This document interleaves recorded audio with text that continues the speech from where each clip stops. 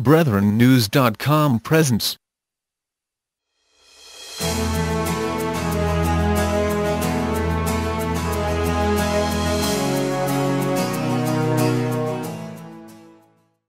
പാഠപുസ്തകത്തിലെ അൻപത്തി ഒൻപതാമത്തെ പാട്ട് മംഗളം ദേവദേവന് പ്രതിദിനവും എന്ന് തുടങ്ങുന്ന ഗാനം സ്വദേശം മംഗളം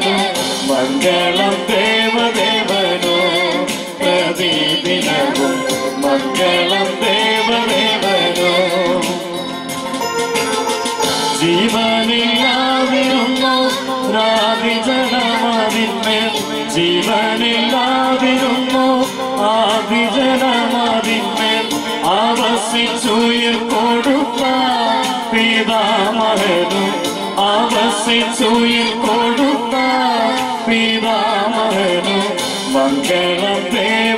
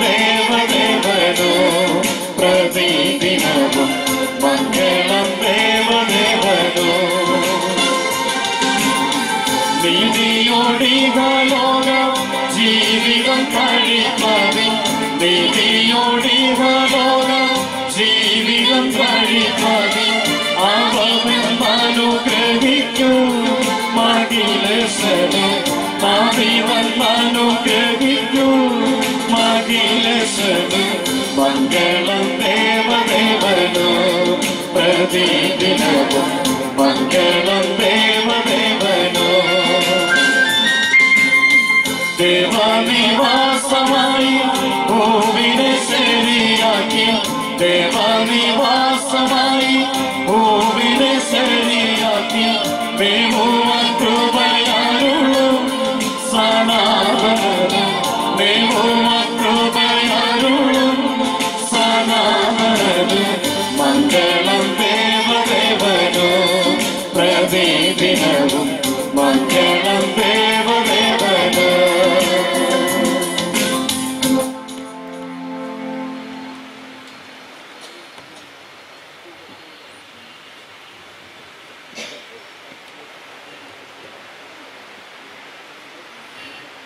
ദൈവദാസന്മാര് ഗാനങ്ങൾ എഴുതിയിട്ടുള്ളത് ദൈവജനത്തിന് ഒരുമിച്ച് പാടി ദൈവത്തെ സ്തുതിക്കുവാന് മഹത്വപ്പെടുത്തുവാന് ആശ്വസിക്കുവാന് കർത്താവിനെ മഹത്വപ്പെടുത്തുവാനൊക്കെയുമാണ്. കടന്നു വന്ന എല്ലാവർക്കും ചേർന്ന് പാടാവുന്ന വിധമാണ് ഇവിടെ പാട്ടുകളുടെ ക്രമീകരണങ്ങൾ ചെയ്തിട്ടുള്ളത്. അതുകൊണ്ട് നമുക്കറിയാവുന്ന പാട്ട് പഴയ പാട്ടുകളാണ് പാടുന്നത്. അതുകൊണ്ട് എല്ലാവരും ചേർന്ന് ഉച്ചത്തിൽ പാടി നമുക്ക് ദൈവത്തെ മഹത്വപ്പെടുത്താം. ദൈവനാമം അങ്ങനെ ഉയർത്തപ്പെടുവാൻ ഇടയാകട്ടെ. പാഠപുസ്തകത്തിലെ മുന്നൂറ്റി പതിനാലാമത്തെ പാട്ട്. യേശുവിൻ നാമം ശാശ്വത നാമം എന്ന് തുടങ്ങും.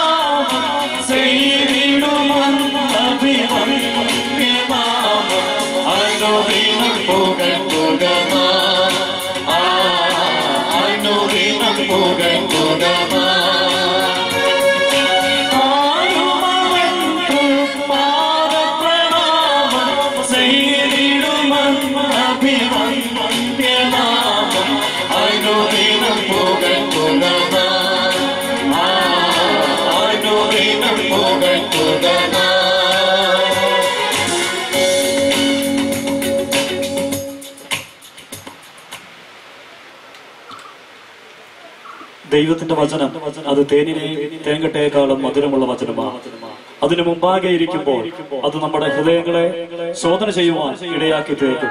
ദൈവത്തിന്റെ വചനം കേൾക്കുമ്പോൾ നമ്മളുടെ കുറവുകളെ മനസ്സിലാക്കുവാനും ദൈവത്തിന്റെ സന്നിധിയിലേക്ക് തിരിവാനും നമ്മളെ ഇടയാക്കി തീർക്കും. ആ മധുരമുള്ള വചനത്തിന് മുമ്പാകെ ഇരിക്കുമ്പോൾ നമ്മെ തന്നെ ദൈവസന്നിധി സമർപ്പിക്കുവാൻ ഇടയാക്കി തീരട്ടെ. പാട്ടുപുസ്തകത്തിലെ നാനൂറ്റി നാൽപ്പത്തി മൂന്നാമത്തെ പാട്ട് മധുരതരം തിരുവേദം എന്ന് തുടങ്ങുന്നത് ശ്രദ്ധിച്ചാൽ.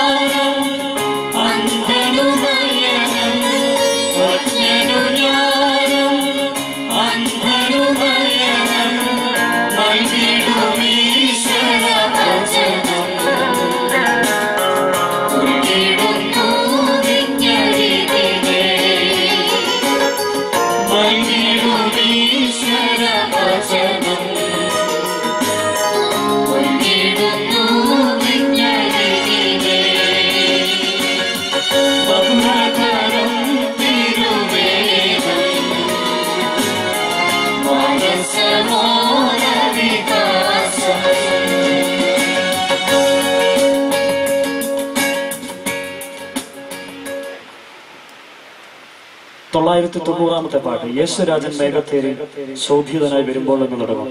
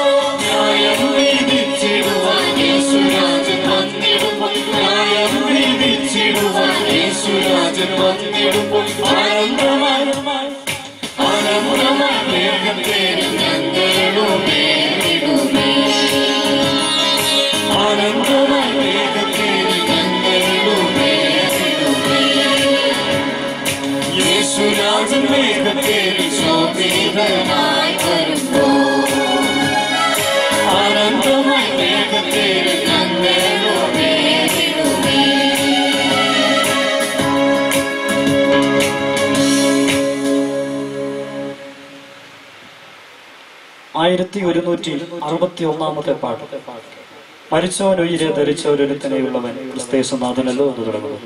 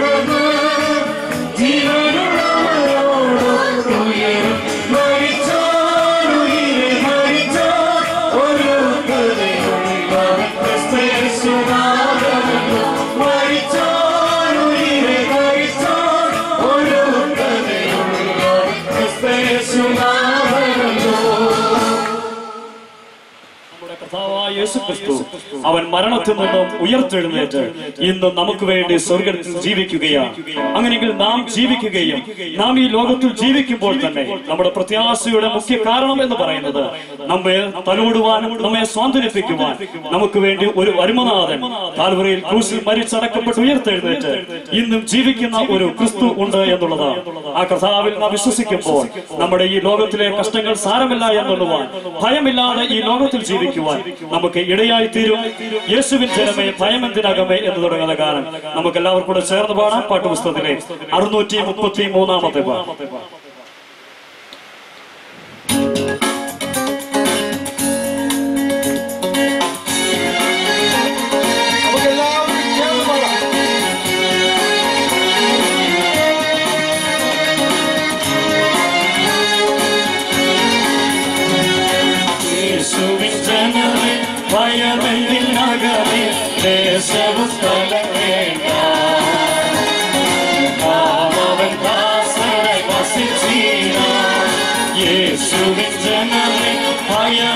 Nagari, Le Sohutala Nenya.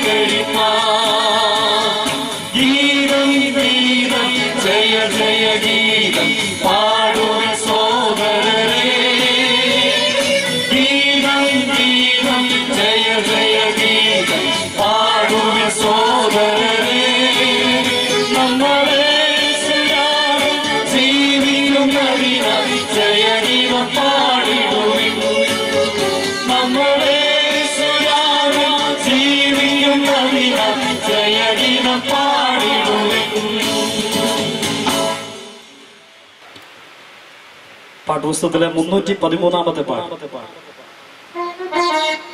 പാഠപുസ്തകത്തിലെ മുന്നൂറ്റി പതിമൂന്ന് ശ്രീയസ് നാമം അതിശയനാമം. എല്ലാവരും ഇരുന്ന് കരങ്ങളെ അടിച്ച് പാടണം എന്ന് പ്രത്യേകിച്ച് ഓർപ്പിക്കും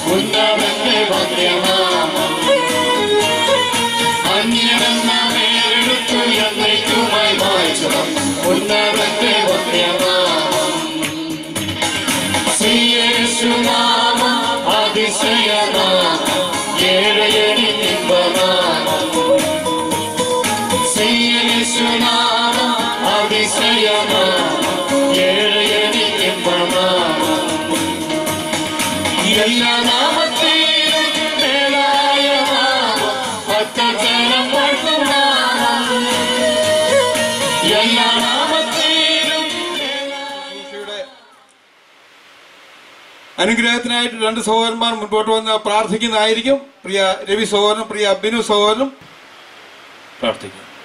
ഞങ്ങളുടെ ദൈവമേ സ്വർഗീയ നല്ല പിതാവേ ഈ നല്ല സന്ധ്യയ്ക്കായി ഞങ്ങൾ നിന്നെ സ്തുതിക്കുകയും നിന്നെ മഹത്വപ്പെടുത്തുകയും ചെയ്യുന്നു. നിന്റെ പുത്രൻ മുഖാന്തരമായി ഞങ്ങൾക്ക് ഈ നിലയിൽ കൂടി ഒരു വാന്തി ഒരു കിലാസാവകാശങ്ങൾക്കായി നന്ദിയോടെ സ്തോത്രം. കഴിഞ്ഞ മുപ്പത്താറ് വർഷക്കാലമായി കർത്താവെ മണ്ണാർക്കുണിയുടെ പ്രദേശത്ത് സുവിശേഷത്തിന്റെ സന്ദേശം കർത്താവെ അറിയിച്ചുകൊണ്ടിരിക്കുകയാണല്ലോ. അതിനായി കർത്താവിലുള്ള അസലം സഭയെ ദൈവത്തെ ഉപയോഗിക്കുന്നവർ നന്ദിയോടെ സ്തോത്രം ചെയ്യുന്നു. അതിനായ സഹോദരന്മാരെ ഒരുക്കിയിരിക്കുന്ന കൃപയ്ക്കായി നന്ദിയോടെ ദൈവമേ നിന്നെ സ്തുതിക്കുകയും നിന്നെ ബോധ്യപ്പെടുത്തുകയും ചെയ്യുകയാണ്. ഈ കർത്താവ് വർഷവും ഈ നിലയിൽ സുവിശേഷ സന്ദേശവുമായി കർത്താവെ കടന്നു വരുവാൻ ദൈവം ഇടയാക്കിയ കൃപയ്ക്കായി നന്ദിയോടെ ദൈവത്തെ സ്തുതിക്കുകയും ദൈവത്തെ ബോധ്യപ്പെടുത്തുകയും ചെയ്യുന്നു. കഴിഞ്ഞ രണ്ട് രാത്രിയിലും അനേകരെ ദൈവം കൂട്ടിവരുത്തിയ കൃപയ്ക്കായി സ്തോത്രം ചെയ്യുന്നു. ഇന്നും ധാരാളം കർത്താവെ പ്രിയപ്പെട്ടവരെ ദൈവം കൂട്ടിവരുത്തിയ കൃപയ്ക്കായി നന്ദിയോടെ ദൈവമേ ഞങ്ങൾ തന്നെ സ്തുതിക്കാൻ തന്നെ മുഖത്തപ്പെടുത്തുകയും ചെയ്യുകയാണ് മനോഹരമായ പാട്ടുകൾ പാടുവാൻ കർത്താവെ നിന്റെ മക്കളെ നീ ബലപ്പെടുത്തിയ കൃപയ്ക്കായി ശക്തിപ്പെടുത്തിയ കൃപയ്ക്കായി. കർത്താവെ നന്ദി കുറഞ്ഞ ഹൃദയത്തോടുകൂടി ഞങ്ങൾ നിന്നെ സ്തുതിക്കും നിന്നെ മുഖത്തപ്പെടുത്തുന്നു ഇന്ന് പകൽക്കാലം സന്ധ്യ സമയങ്ങളിൽ ഞങ്ങളോട് കാണിച്ച ദയക്കും കരുണയ്ക്കും മഹാമനസ്സലിനുമായി കർത്താവെ ഞങ്ങൾ നിന്നെ വാഴ്ചയാണ് നിന്നെ സ്തുതിക്കുകയാണ്. അനേർക്ക് സന്തോഷമില്ലാതെ സമാധാനമില്ലാതെ കഴിയുമ്പോൾ ഞങ്ങൾക്ക് സന്തോഷത്തോടുകൂടി പ്രത്യാശയോടുകൂടി കർത്താവേ ഈ പന്തലിനെ കീഴിലേക്ക് കടന്നു വന്ന കർത്താവേ നിന്നെ അറിയുവാൻ നിന്നെ സ്തുതിക്കുവാൻ നിന്നെ മഹത്വപ്പെടുത്തുവാൻ നിന്റെ വചന സന്ദേശം കേൾക്കുവാൻ കൊണ്ടും കർത്താവെ ഞങ്ങളെ ഒരുക്കുന്ന കൃപയ്ക്കായി നന്ദിയോടെ ദൈവത്തെ ശ്രദ്ധിക്കാൻ ദൈവത്തെ മഹത്വപ്പെടുത്തുകയും ചെയ്യുകയാണ്.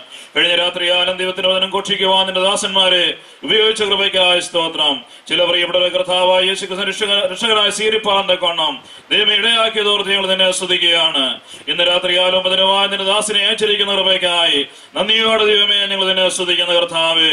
ഇന്ന് രാത്രി നിന്റെ ദാസൻ വചനം സംസാരിക്കുമ്പോൾ ഈ പന്തലിന് കീഴിലും കർത്താവ് ഈ ശബ്ദപരിധിക്കുള്ളിൽ ഞങ്ങളെ ശ്രമിക്കുന്ന അനേക പ്രിയപ്പെട്ട കർത്താവ് യേശു ക്രിസ്തുവിനെ കോണം രക്ഷകനായി അംഗീകരിക്കുന്ന കോണം കർത്താവ് ഈ രാത്രികാലം നീ ഇടയാക്കുമാറാകണമേ എന്ന് പ്രാർത്ഥിക്കുന്നു.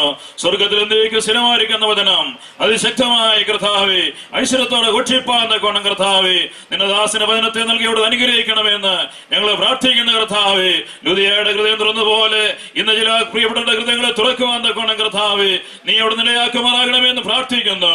ദൈവത്തിന്റെ പരിശുദ്ധാത്മാന്റെ നിറവിൽ നിന്നുകൊണ്ട് ദൈവത്തിന്റെ വചനം ഐശ്വര്യമായി ഘോഷിക്കപ്പെടുവാൻ.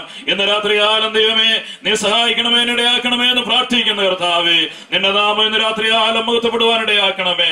ഞാൻ ഉയർത്തപ്പെട്ടാൽ എങ്കിലേക്ക് എങ്കിലേക്ക് അനേകരെ ആകർഷിക്കാവുന്ന കർത്താവേ. നിന്റെ വചനമുണ്ടല്ലോ വചനം പോലെ അനേകരെ നീ ആകർഷിക്കുമാറാകണമേ നിങ്ങൾ പ്രാർത്ഥിക്കുന്നു. ഇത്രത്തോളം ഞങ്ങളെ സഹായിച്ചിരിക്കുന്ന കൃപയ്ക്കായി ദൈവത്തെ ശ്രദ്ധിക്കാൻ ദൈവത്തെ മഹത്വപ്പെടുത്തുകയും ചെയ്യുന്നു. കർത്താവേ കാലാവസ്ഥയ്ക്ക് എത്രത്തോളം അനുകൂലമാക്കി ഞങ്ങൾ തന്നിരിക്കുന്ന കൃപയ്ക്കായി നന്ദിയോടെ സ്തോത്രം. കർത്താവെ വെളിച്ചത്തെയും ശബ്ദത്തെയും ദൈവം നിയന്ത്രിക്കണമേ.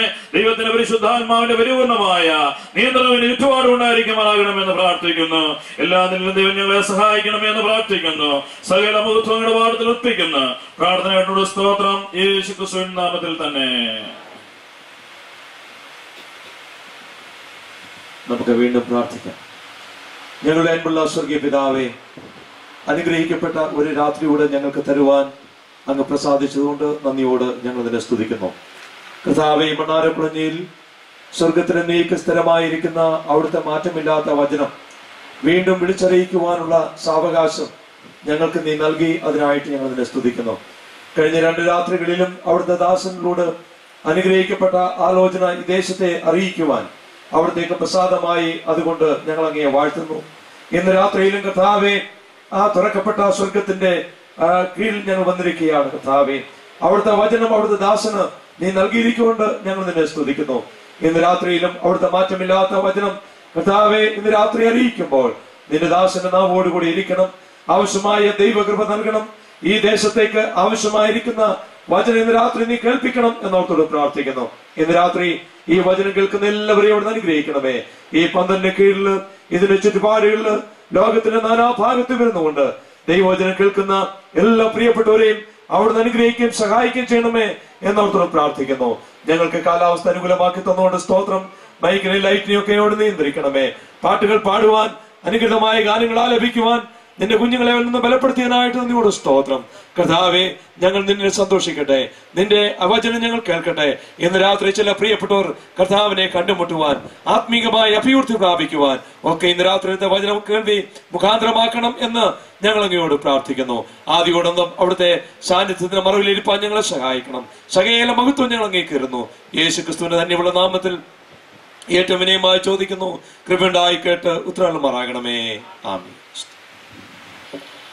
കർത്താവിന്റെ വലിയ നാമത്തിന് വളരെ നന്ദിയോടുകൂടെ സ്തോത്രം ചെയ്യുന്നു. ഈ യോഗ സ്ഥലത്തും പരിസരങ്ങളിലും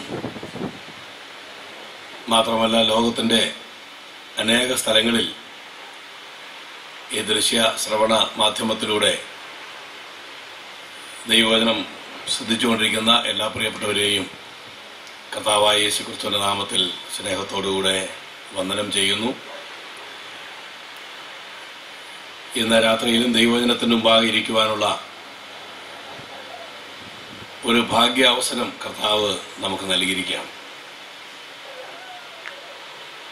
നമ്മുടെ എല്ലാവരുടെയും ജീവിതങ്ങളോട് ഇന്ന് രാത്രിയിൽ ദൈവം സംസാരിക്കേണ്ടതിന് നമുക്ക് പ്രാർത്ഥനയോടുകൂടെ ഇരിക്കാം. കർത്താവിന്റെ വയലിലധ്വാനിക്കുന്ന അനുഗ്രഹീതരായ ദൈവദാസന്മാർ ഇവിടെയുണ്ട് സഹോദരി സഹോദരന്മാർ മാതാപിതാക്കന്മാർ എല്ലാവരെയും വീണ്ടും വീണ്ടും കർത്താവിന്റെ നാമത്തിൽ വന്ദനം ചെയ്യുക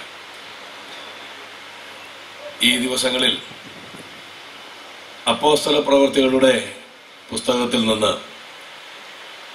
ഒന്നാം നൂറ്റാണ്ടിലെ അപ്പോസ്തലന്മാരുടെ പ്രസംഗങ്ങൾ എന്ന വിഷയത്തെക്കുറിച്ച് കഴിഞ്ഞ ചില ദിവസങ്ങളായി ഞാൻ ചിന്തിക്കുകയും അതിൽ നിന്ന് പല സ്ഥലങ്ങളിലും വചന ശുശ്രൂഷകൾ നടത്തുകയും ചെയ്യുകയാണ്. ഈ പ്രസംഗകരായ ഞങ്ങൾക്ക് ഈ വർഷം അല്പം ബന്ധപ്പാട് കൂടുതലുള്ള ഒരു വർഷമാണ്. നിങ്ങൾക്കതറിയാം. ഈ പ്രസംഗങ്ങളുടെ തിരക്കല്ല. സാധാരണഗതിയിൽ ഒരു രണ്ടോ മൂന്നോ പ്രസംഗങ്ങൾ ഒരു വർഷം ഉണ്ടായാൽ കോട്ടയത്ത് വന്ന് പ്രസംഗിച്ചാൽ പത്തനംതിട്ടയിൽ അത് തന്നെ പറയാം തിരുവനന്തപുരത്തും അത് തന്നെ പറയാം. എന്നാൽ ഈ ബ്രദർ ന്യൂസ് റേഡിയോ മന്ന തുടങ്ങിയ ഈ പ്രക്ഷേപണ സൗകര്യങ്ങളൊക്കെ ഉള്ളതുകൊണ്ട് ഈ ഒരിടത്ത് പ്രസംഗിക്കുന്നത് തന്നെ ആളുകൾ കേട്ടാൽ അത് ഒരു ഒരു ഒരു കുറവായതുകൊണ്ട് ഈ ഞങ്ങളുടെ ജോലി പതിനും മടങ്ങായി വർദ്ധിച്ചിരിക്കുകയാണ്. അത് ഒരു കണക്കിന് നല്ലതാണെന്ന് ഞാൻ വിചാരിക്കുന്നു. ഞങ്ങൾ മടിയന്മാരായി തീരാതെ കൂടുതൽ വേദവസ്തവം വായിക്കുകയും ധ്യാനിക്കുകയും പഠിക്കുകയും ഒക്കെ ചെയ്യുവാൻ അത് ഒരു കാരണമായി തീരും. അങ്ങനെ അതിനെ പോസിറ്റീവായിട്ട് കണ്ടുകൊണ്ട് ഈ അപ്പോസ്തല പ്രവൃത്തികളിൽ അപ്പോസ്തലന്മാർ പ്രസംഗിച്ച പ്രസംഗങ്ങൾ ഓരോന്നോരോന്ന് മാറി മാറി ഈ ദിവസങ്ങളിൽ ചിന്തിച്ചു വരികയാണ്. ഈ അപ്പോസ്വലന്മാരുടെ പ്രസംഗങ്ങൾ നമ്മൾ ശ്രദ്ധിക്കുമ്പോൾ അതുകൊണ്ടുള്ള പല സാധ്യതകളിൽ ഒന്ന് ഈ ഒന്നാം നൂറ്റാണ്ടിൽ കർത്താവിന്റെ ശിഷ്യന്മാര് പ്രസംഗിച്ച അതേ സന്ദേശം തന്നെയാണോ പ്രസംഗിക്കുന്നത് എന്ന് ഒരു പരിശോധന നടത്തുവാൻ അത് മുഖാന്തരമായി തീരും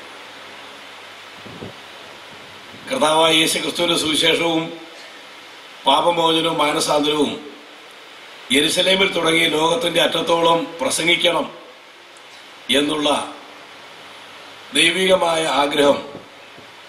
കേവലം പ്രസംഗം മാത്രം നടന്നാൽ പോരാ. പ്രസംഗത്തിന്റെ ഉള്ളടക്കവും ദൈവഹിത പ്രകാരമുള്ളത് തന്നെ ആയിരിക്കണം. അപ്പോസലന്മാർ എന്തു പ്രസംഗിച്ചോ അതേ പ്രസംഗം തന്നെ വീണ്ടും വീണ്ടും ആവർത്തിക്കപ്പെടണം. അവരുപയോഗിച്ച വാക്കുകൾ ഉപയോഗിക്കണം എന്നല്ല ഞാൻ പറഞ്ഞതിന് താല്പര്യം. അവരുടെ സന്ദേശത്തിന്റെ ഉള്ളടക്കം അല്പം പോലും മായം ചേർക്കാതെയും കൂട്ടിച്ചേർക്കാതെയും അതുപോലെ തന്നെ പറയുവാൻ നമുക്ക് കടമയുണ്ട് നമുക്ക് ബാധ്യതയുണ്ട്.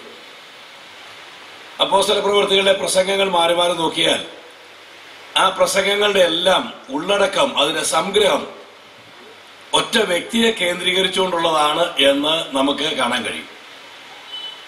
നമുക്കറിയാമല്ലോ സഭ ആരംഭിച്ചതും അപ്പോസ്തുലീയ പ്രസംഗം ആരംഭിച്ചതും രണ്ടാം അധ്യായത്തിലാണ്. ആ രണ്ടാം അധ്യായത്തിലെ പത്രോസിന്റെ ശ്രദ്ധേയമായ പ്രസംഗത്തിൽ പഴയ നിയമ തിരുവഴുത്തുകളുടെ അടിസ്ഥാനത്തിൽ യേശുക്രിസ്തുവിന്റെ സുവിശേഷം വളരെ തെളിവായി താൻ ഓർപ്പിക്കുമ്പോൾ ദൈവം കാണിച്ചു കൊടുത്ത പുരുഷൻ എന്ന പേരിലാണ് നമ്മുടെ രക്ഷകനെ പത്രോസ് പരിചയപ്പെടുത്തുന്നത്. ദൈവം കാണിച്ചു കൊടുത്ത പുരുഷൻ മൂന്നാം അധ്യായത്തിൽ പിറവിയിലെ മുടന്തനായ മനുഷ്യന് സൗഖ്യം ലഭിച്ചു കഴിഞ്ഞപ്പോൾ അപ്പോസ്തലമാര് സൗഖ്യം നൽകി കഴിഞ്ഞപ്പോൾ ഇവന് സംഭവിച്ച ഈ മാറ്റത്തിന്റെ കാരണം അന്വേഷിച്ചു വന്ന വലിയൊരു കൂട്ടം ആളുകളോട് പത്രോസ് നടത്തുന്ന പ്രസംഗത്തിൽ നമ്മുടെ കർത്താവായ യേശു ക്രിസ്തുവിനെ പരിചയപ്പെടുത്തുന്നത് ദൈവം ഉയർത്തിയ പുരുഷൻ എന്ന നിലയിലാണ്. തൊട്ട് പിറകിലത്തെ അധ്യായത്തിൽ ദൈവം കാണിച്ചു കൊടുത്ത പുരുഷനാണ് പ്രമേയമെങ്കിൽ മൂന്നാം അധ്യായത്തിൽ ദൈവം ഉയർത്തിയ പുരുഷനെന്നാണ് യേശു ക്രിസ്തുവിനെ വിളിച്ചിട്ടുള്ളത്. ഇനി മുൻപോട്ട് വന്നാൽ പതിനേഴാം അധ്യായത്തിൽ പൗലോസിന്റെ വളരെ പ്രസിദ്ധമായ ഒരു പ്രസംഗമുണ്ട്. അരബയോഗ കുന്നിന്മേൽ നിന്നുകൊണ്ടുള്ള പ്രസംഗത്തിൽ യേശുക്രിസ്തുവിനെ വിളിച്ചിരിക്കുന്നത് ദൈവം നിയമിച്ച പുരുഷനെന്നാണ്. താൻ നിയമിച്ച പുരുഷൻ മുഖാന്തരം ലോകത്തെ ന്യായം വിധിക്കുവാൻ അവൻ ഒരു ദിവസത്തെ നിയമിച്ചിരിക്കുന്നു എന്നാണ്. ദൈവം നിയമിച്ച പുരുഷൻ. എന്നാൽ ഇതിനിടയിൽ വരുന്ന മറ്റൊരു പ്രസംഗമുണ്ട്. ആ പ്രസംഗം ഏതാണ്ട് ആ പ്രസംഗം അതേപടി തന്നെ രേഖപ്പെടുത്തിയിട്ടുണ്ട്. മറ്റു പ്രസംഗങ്ങളുടെയൊക്കെ ചുരുക്കം അതിന്റെ അതിന്റെ ഉള്ളടക്കം അതിന്റെ സംക്ഷിപ്തമാണ് രേഖപ്പെടുത്തിയിട്ടുള്ളതെങ്കിൽ ഈ പ്രസംഗത്തിന്റെ ഏതാണ്ട് മുഴുവൻ ഭാഗവും പദാനുപദം രേഖപ്പെടുത്തിയിട്ടുണ്ട്. അത് ഏഴാം അധ്യായത്തിലാണ്. അപ്പോസന പ്രവർത്തികൾ ഏഴാം അധ്യായത്തിൽ. പ്രസംഗിക്കുന്ന ആൾ വേറെയാണ്. അപ്പോസന്മാരുടെ കൂടെ ഇവിടെ ആളായിരുന്നില്ല. ഒരു ശുശ്രൂഷകനായി ജീവിതം ആരംഭിച്ച സ്തേഫാനോസിന്റെ പ്രസംഗമാണ്. അദ്ദേഹത്തിന്റെ പ്രസംഗം ഏതാണ്ട് പദാനുപദം രേഖപ്പെടുത്തുവാൻ അത്യാവശ്യമുണ്ടായിരുന്നതുകൊണ്ട് ഏഴാം അധ്യായം മുഴുവനും തന്നെ ആ പ്രസംഗം രേഖപ്പെടുത്തിയിരിക്കാം അവിടെ നമ്മുടെ കർത്താവായ യേശു ക്രിസ്തുവിനെ വിളിച്ചിരിക്കുന്ന പരിചയപ്പെടുത്തിയിരിക്കുന്ന ഒരു പ്രത്യേകമായ പദപ്രയോഗമുണ്ട്. ആ വാക്യം നമുക്കൊന്ന് വായിക്കാം. ഏഴാം അധ്യായത്തിന്റെ അൻപത്തി രണ്ടാമത്തെ വാക്യം. അപ്പോ പ്രവർത്തികൾ ഏഴാം അധ്യായം അൻപത്തി രണ്ടാം വാക്യം. പ്രവാചകന്മാരിൽ ഏവനെ നിങ്ങളുടെ പിതാക്കന്മാർ ഉപദ്രവിക്കാതിരുന്നിട്ടുള്ളൂ. നീതിമാനായവന്റെ വരവിനെ കുറിച്ച് മുന്നറിയിച്ചവരെ അവർ കൊന്നുകളഞ്ഞു. ഇവിടെ കർത്താവിനെ വിളിക്കുന്ന പേര് നീതിമാനായവന്റെ വരവ്. അത് അല്പം കൂടി ഒന്ന് പരിഷ്കരിച്ച് ഈ പ്രസംഗത്തിന്റെ പ്രമേയം സ്തേഫാനോസിന്റെ പ്രസംഗത്തിന്റെ പ്രമേയം ദൈവം അയച്ചിട്ട് വന്ന പുരുഷൻ നീതിമാനായവന്റെ വരവ് ദൈവം അയച്ചിട്ട് വന്ന പുരുഷൻ എന്ന് യേശുക്രിസ്തുവിനെ വിളിക്കാം. ധാരാളം ആണുങ്ങൾ ജീവിച്ചിരുന്ന സ്ഥലത്ത് കിടയറ്റ നിസ്തുല്യനായ എല്ലാം കൊണ്ട് യോഗ്യനായ ലക്ഷണയുക്തനായ ഒരു പോരായ്മയും ചൂണ്ടിക്കാണിക്കുവാൻ കഴിയാത്ത ഒരു ന്യൂനതയുമില്ലാത്ത വാക്കിലോ പ്രവൃത്തിയിലോ ജീവിതത്തിലോ മനോഭാവത്തിലോ യാതൊരു പോരായ്മയും ആർക്കും ചൂണ്ടിക്കാണിക്കുവാൻ കഴിയാത്ത തികഞ്ഞ പുരുഷനെയാണ് അപ്പോസലന്മാർ അവരുടെ പ്രസംഗത്തിലൂടെ മാറി മാറി ചൂണ്ടിക്കാണിച്ചത്. ആ പുരുഷനെ കുറിച്ച് പറയുമ്പോൾ വാചാലമായി പത്രോസിന് പറയാനുള്ളത് അവനെ ദൈവം കാണിച്ചു തന്ന പുരുഷനാണ്. അവനെ പോലെ ഒരു പുരുഷനെ ലോക ചരിത്രത്തിൽ ദൈവം കാണിച്ചു തന്നിട്ടില്ല. അവനെ പോലെ ഉയർത്തപ്പെട്ട ഒരു പുരുഷൻ ലോക ചരിത്രത്തിൽ ഉണ്ടായിട്ടില്ല. അവനെ പോലെ നിയമിക്കപ്പെട്ട ഒരു പുരുഷൻ ലോക ചരിത്രത്തിൽ ഉണ്ടായിട്ടില്ല. ഇവിടെ സ്തേഫാനോസ് പറയുകയാണ് അവനെ പോലെ പറഞ്ഞയക്കപ്പെട്ട ഒരു പുരുഷൻ വേറെ ഉണ്ടായിട്ടില്ല. അതുകൊണ്ട് രാത്രി സ്തേഫാനോസിന്റെ ഈ പ്രസംഗത്തെ ആധാരമാക്കി ദൈവം അയച്ചിട്ട് വന്ന ഈ പുരുഷന്റെ പ്രത്യേകതകൾ എന്തൊക്കെയാണ്? ഈ ലോക ചരിത്രത്തിൽ ഇന്ന് ജീവിച്ചിരിക്കുന്നവരിലോ ജീവിച്ച് മരിച്ച് മൺമറിഞ്ഞു പോയവരിലോ ആർക്കെങ്കിലും ഒരാൾക്കോ ഒന്നിലധികം ആളുകൾക്കോ ഈ പറയപ്പെട്ടതായ യോഗ്യതകൾ ഗുണങ്ങൾ ലക്ഷണങ്ങളൊക്കെ ഉണ്ടെങ്കിൽ അവരെ കുറിച്ച് പ്രസംഗിക്കാൻ നാം മടിക്കേണ്ട ആവശ്യമില്ല. അങ്ങനെയുള്ള ആരെങ്കിലും ഉണ്ടെങ്കിൽ അവരെ ആരാധിക്കുവാൻ മടിക്കേണ്ട ആവശ്യമില്ല. അങ്ങനെയുള്ള ആരെങ്കിലും ഉണ്ടെങ്കിൽ അവരെ കുറിച്ച് ധാരാളം എഴുതുന്നതിൽ ഒരു മടി കാണിക്കേണ്ട ആവശ്യമില്ല. അങ്ങനെ ആരെങ്കിലും വേറെ ഉണ്ടായിട്ടുണ്ടെങ്കിൽ അവരെ കുറിച്ച് നല്ല നല്ല പാട്ടുകൾ എഴുതാം. അങ്ങനെ ആരെങ്കിലും ഉണ്ടായിട്ടുണ്ടെങ്കിൽ അവരെ കുറിച്ച് വാദോരാതെ പാടാം. അങ്ങനെ ആരെങ്കിലും ഉണ്ടായിട്ടുണ്ടെങ്കിൽ അവരെ മഹത്വപ്പെടുത്തുവാനും ഉയർത്തുവാനും നമുക്ക് യാതൊരു മടിയും ഉണ്ടാകേണ്ട ആവശ്യമില്ല. ദുഃഖത്തോടെ പറയട്ടെ ഈ ലോക ചരിത്രത്തിൽ മനുഷ്യരുടെ ചരിത്രത്തിന്റെ ഏകദേശം ഇക്കഴിഞ്ഞ ആറായിരം വർഷങ്ങൾക്കിടയിൽ ഇതുപോലെ ദൈവം അയച്ചിട്ട് വന്ന മറ്റൊരു പുരുഷനെ നമുക്ക് കാണാൻ കഴിയുന്നില്ല. നമ്മുടെ കർത്താവായ യേശു എത്ര നിസ്തുല്യനാണ് ദൈവത്തെങ്കിൽ നിന്ന് പ്രത്യേകമായ ഉദ്ദേശത്തോടുകൂടെ അയക്കപ്പെട്ട ഈ പുരുഷന് തുല്യം അവൻ മാത്രമാണ്. അവനെ പോലെ വേറൊരാൾ ഉണ്ടായിട്ടില്ല. അതുകൊണ്ട് നമ്മുടെ കർത്താവായ യേശു ക്രിസ്തുവിന്റെ മഹത്വത്തെ വാനോളം ഉയർത്തി കാണിച്ച് ആ പ്രസംഗത്തിന്റെ അനന്തരഫലമായി ആ പ്രസംഗം പൂർത്തീകരിക്കാൻ കഴിയാതെ നീതിമാനായവന്റെ വരവിനെ കുറിച്ച് പ്രവചിച്ച പ്രവാചകന്മാരെ നിങ്ങളുടെ പിതാക്കന്മാർ കൊന്നുകളഞ്ഞു എന്ന് സ്തേഫാനോസ് പറഞ്ഞ് അവസാനിപ്പിക്കുമ്പോൾ സുവിശേഷ പ്രസംഗം പൂർത്തിയാക്കാൻ അനുവദിക്കാതെ ക്രൈസ്തവ സഭയുടെ ആദ്യത്തെ രക്തസാക്ഷിയായി മാറുവാൻ സ്തേഫാനോസിന് ഭാഗ്യമുണ്ടായി സ്തേഫാനോസിന് ഇടയുണ്ടായി.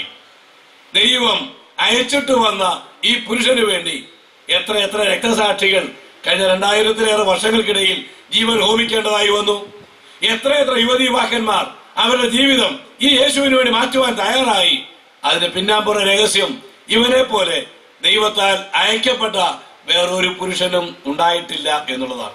അങ്ങനെയാണെങ്കിൽ സ്റ്റെഫാനോസിന്റെ ഈ പുസ്തകത്തിൽ നിന്ന് ദൈവം അയച്ചിട്ട് വന്ന ഈ പുരുഷനെ കുറിച്ച് തനിക്ക് എന്തെല്ലാം കാര്യങ്ങൾ മനസ്സിലാക്കാൻ കഴിഞ്ഞു? നാം എന്തെല്ലാം കാര്യങ്ങൾ മനസ്സിലാക്കണം? ഒരു നാലോ അഞ്ചോ കാര്യങ്ങൾ സമയം പോലെ ഓർപ്പിക്കാം എന്ന് ഞാൻ വിചാരിക്കാം അതിൽ ഒന്നാമത്തെ കാര്യം ദൈവം അയച്ചിട്ട് വന്ന ഈ പുരുഷൻ ദൈവത്തെ വെളിപ്പെടുത്തിയ പുരുഷനാണ്.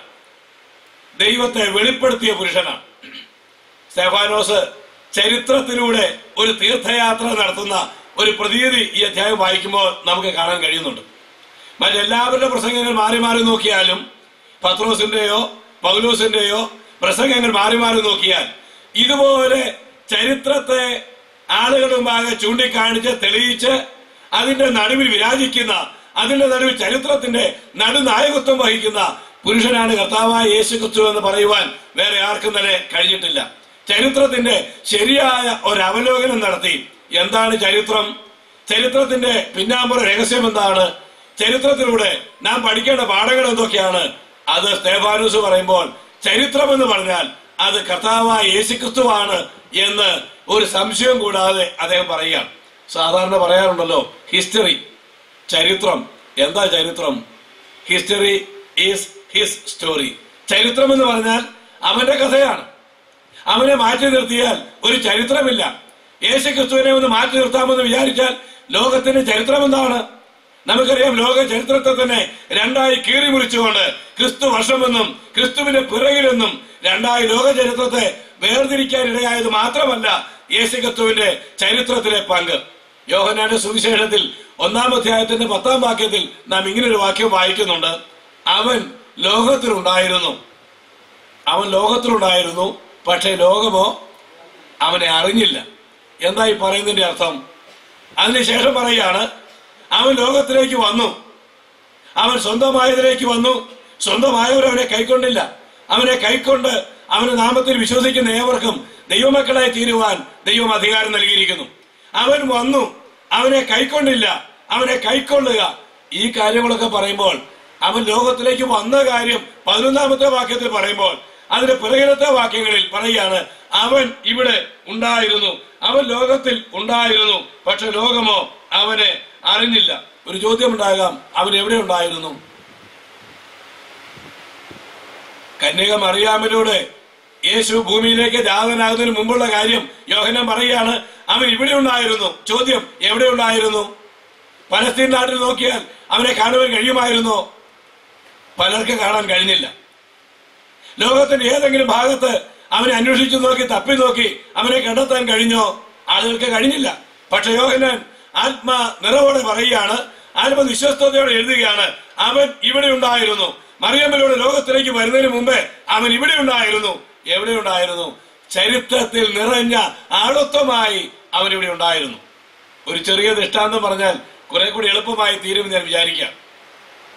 നാം സാധാരണ രാവിലെ സമയങ്ങളിൽ നേരം വെളുത്തു കഴിയുമ്പോൾ തുറസായ സ്ഥലങ്ങളിലൂടെയോ കൃഷിയിടങ്ങളിലൂടെയോ ഒക്കെ നടന്നു പോകുമ്പോൾ ചിലന്തി വല ധാരാളമായിട്ട് കാണാറുണ്ട്. ചിലതൊക്കെ ചെറിയ ചിലന്തി വലയാണ് ചിലതൊക്കെ വളരെ വലുതാണ്. പല രൂപത്തിലും ഭാവത്തിലുമുള്ള ചിലന്തി വലകൾ കാണാൻ കഴിയും. മനോഹരമായ ഒരു കാഴ്ചയാണ്.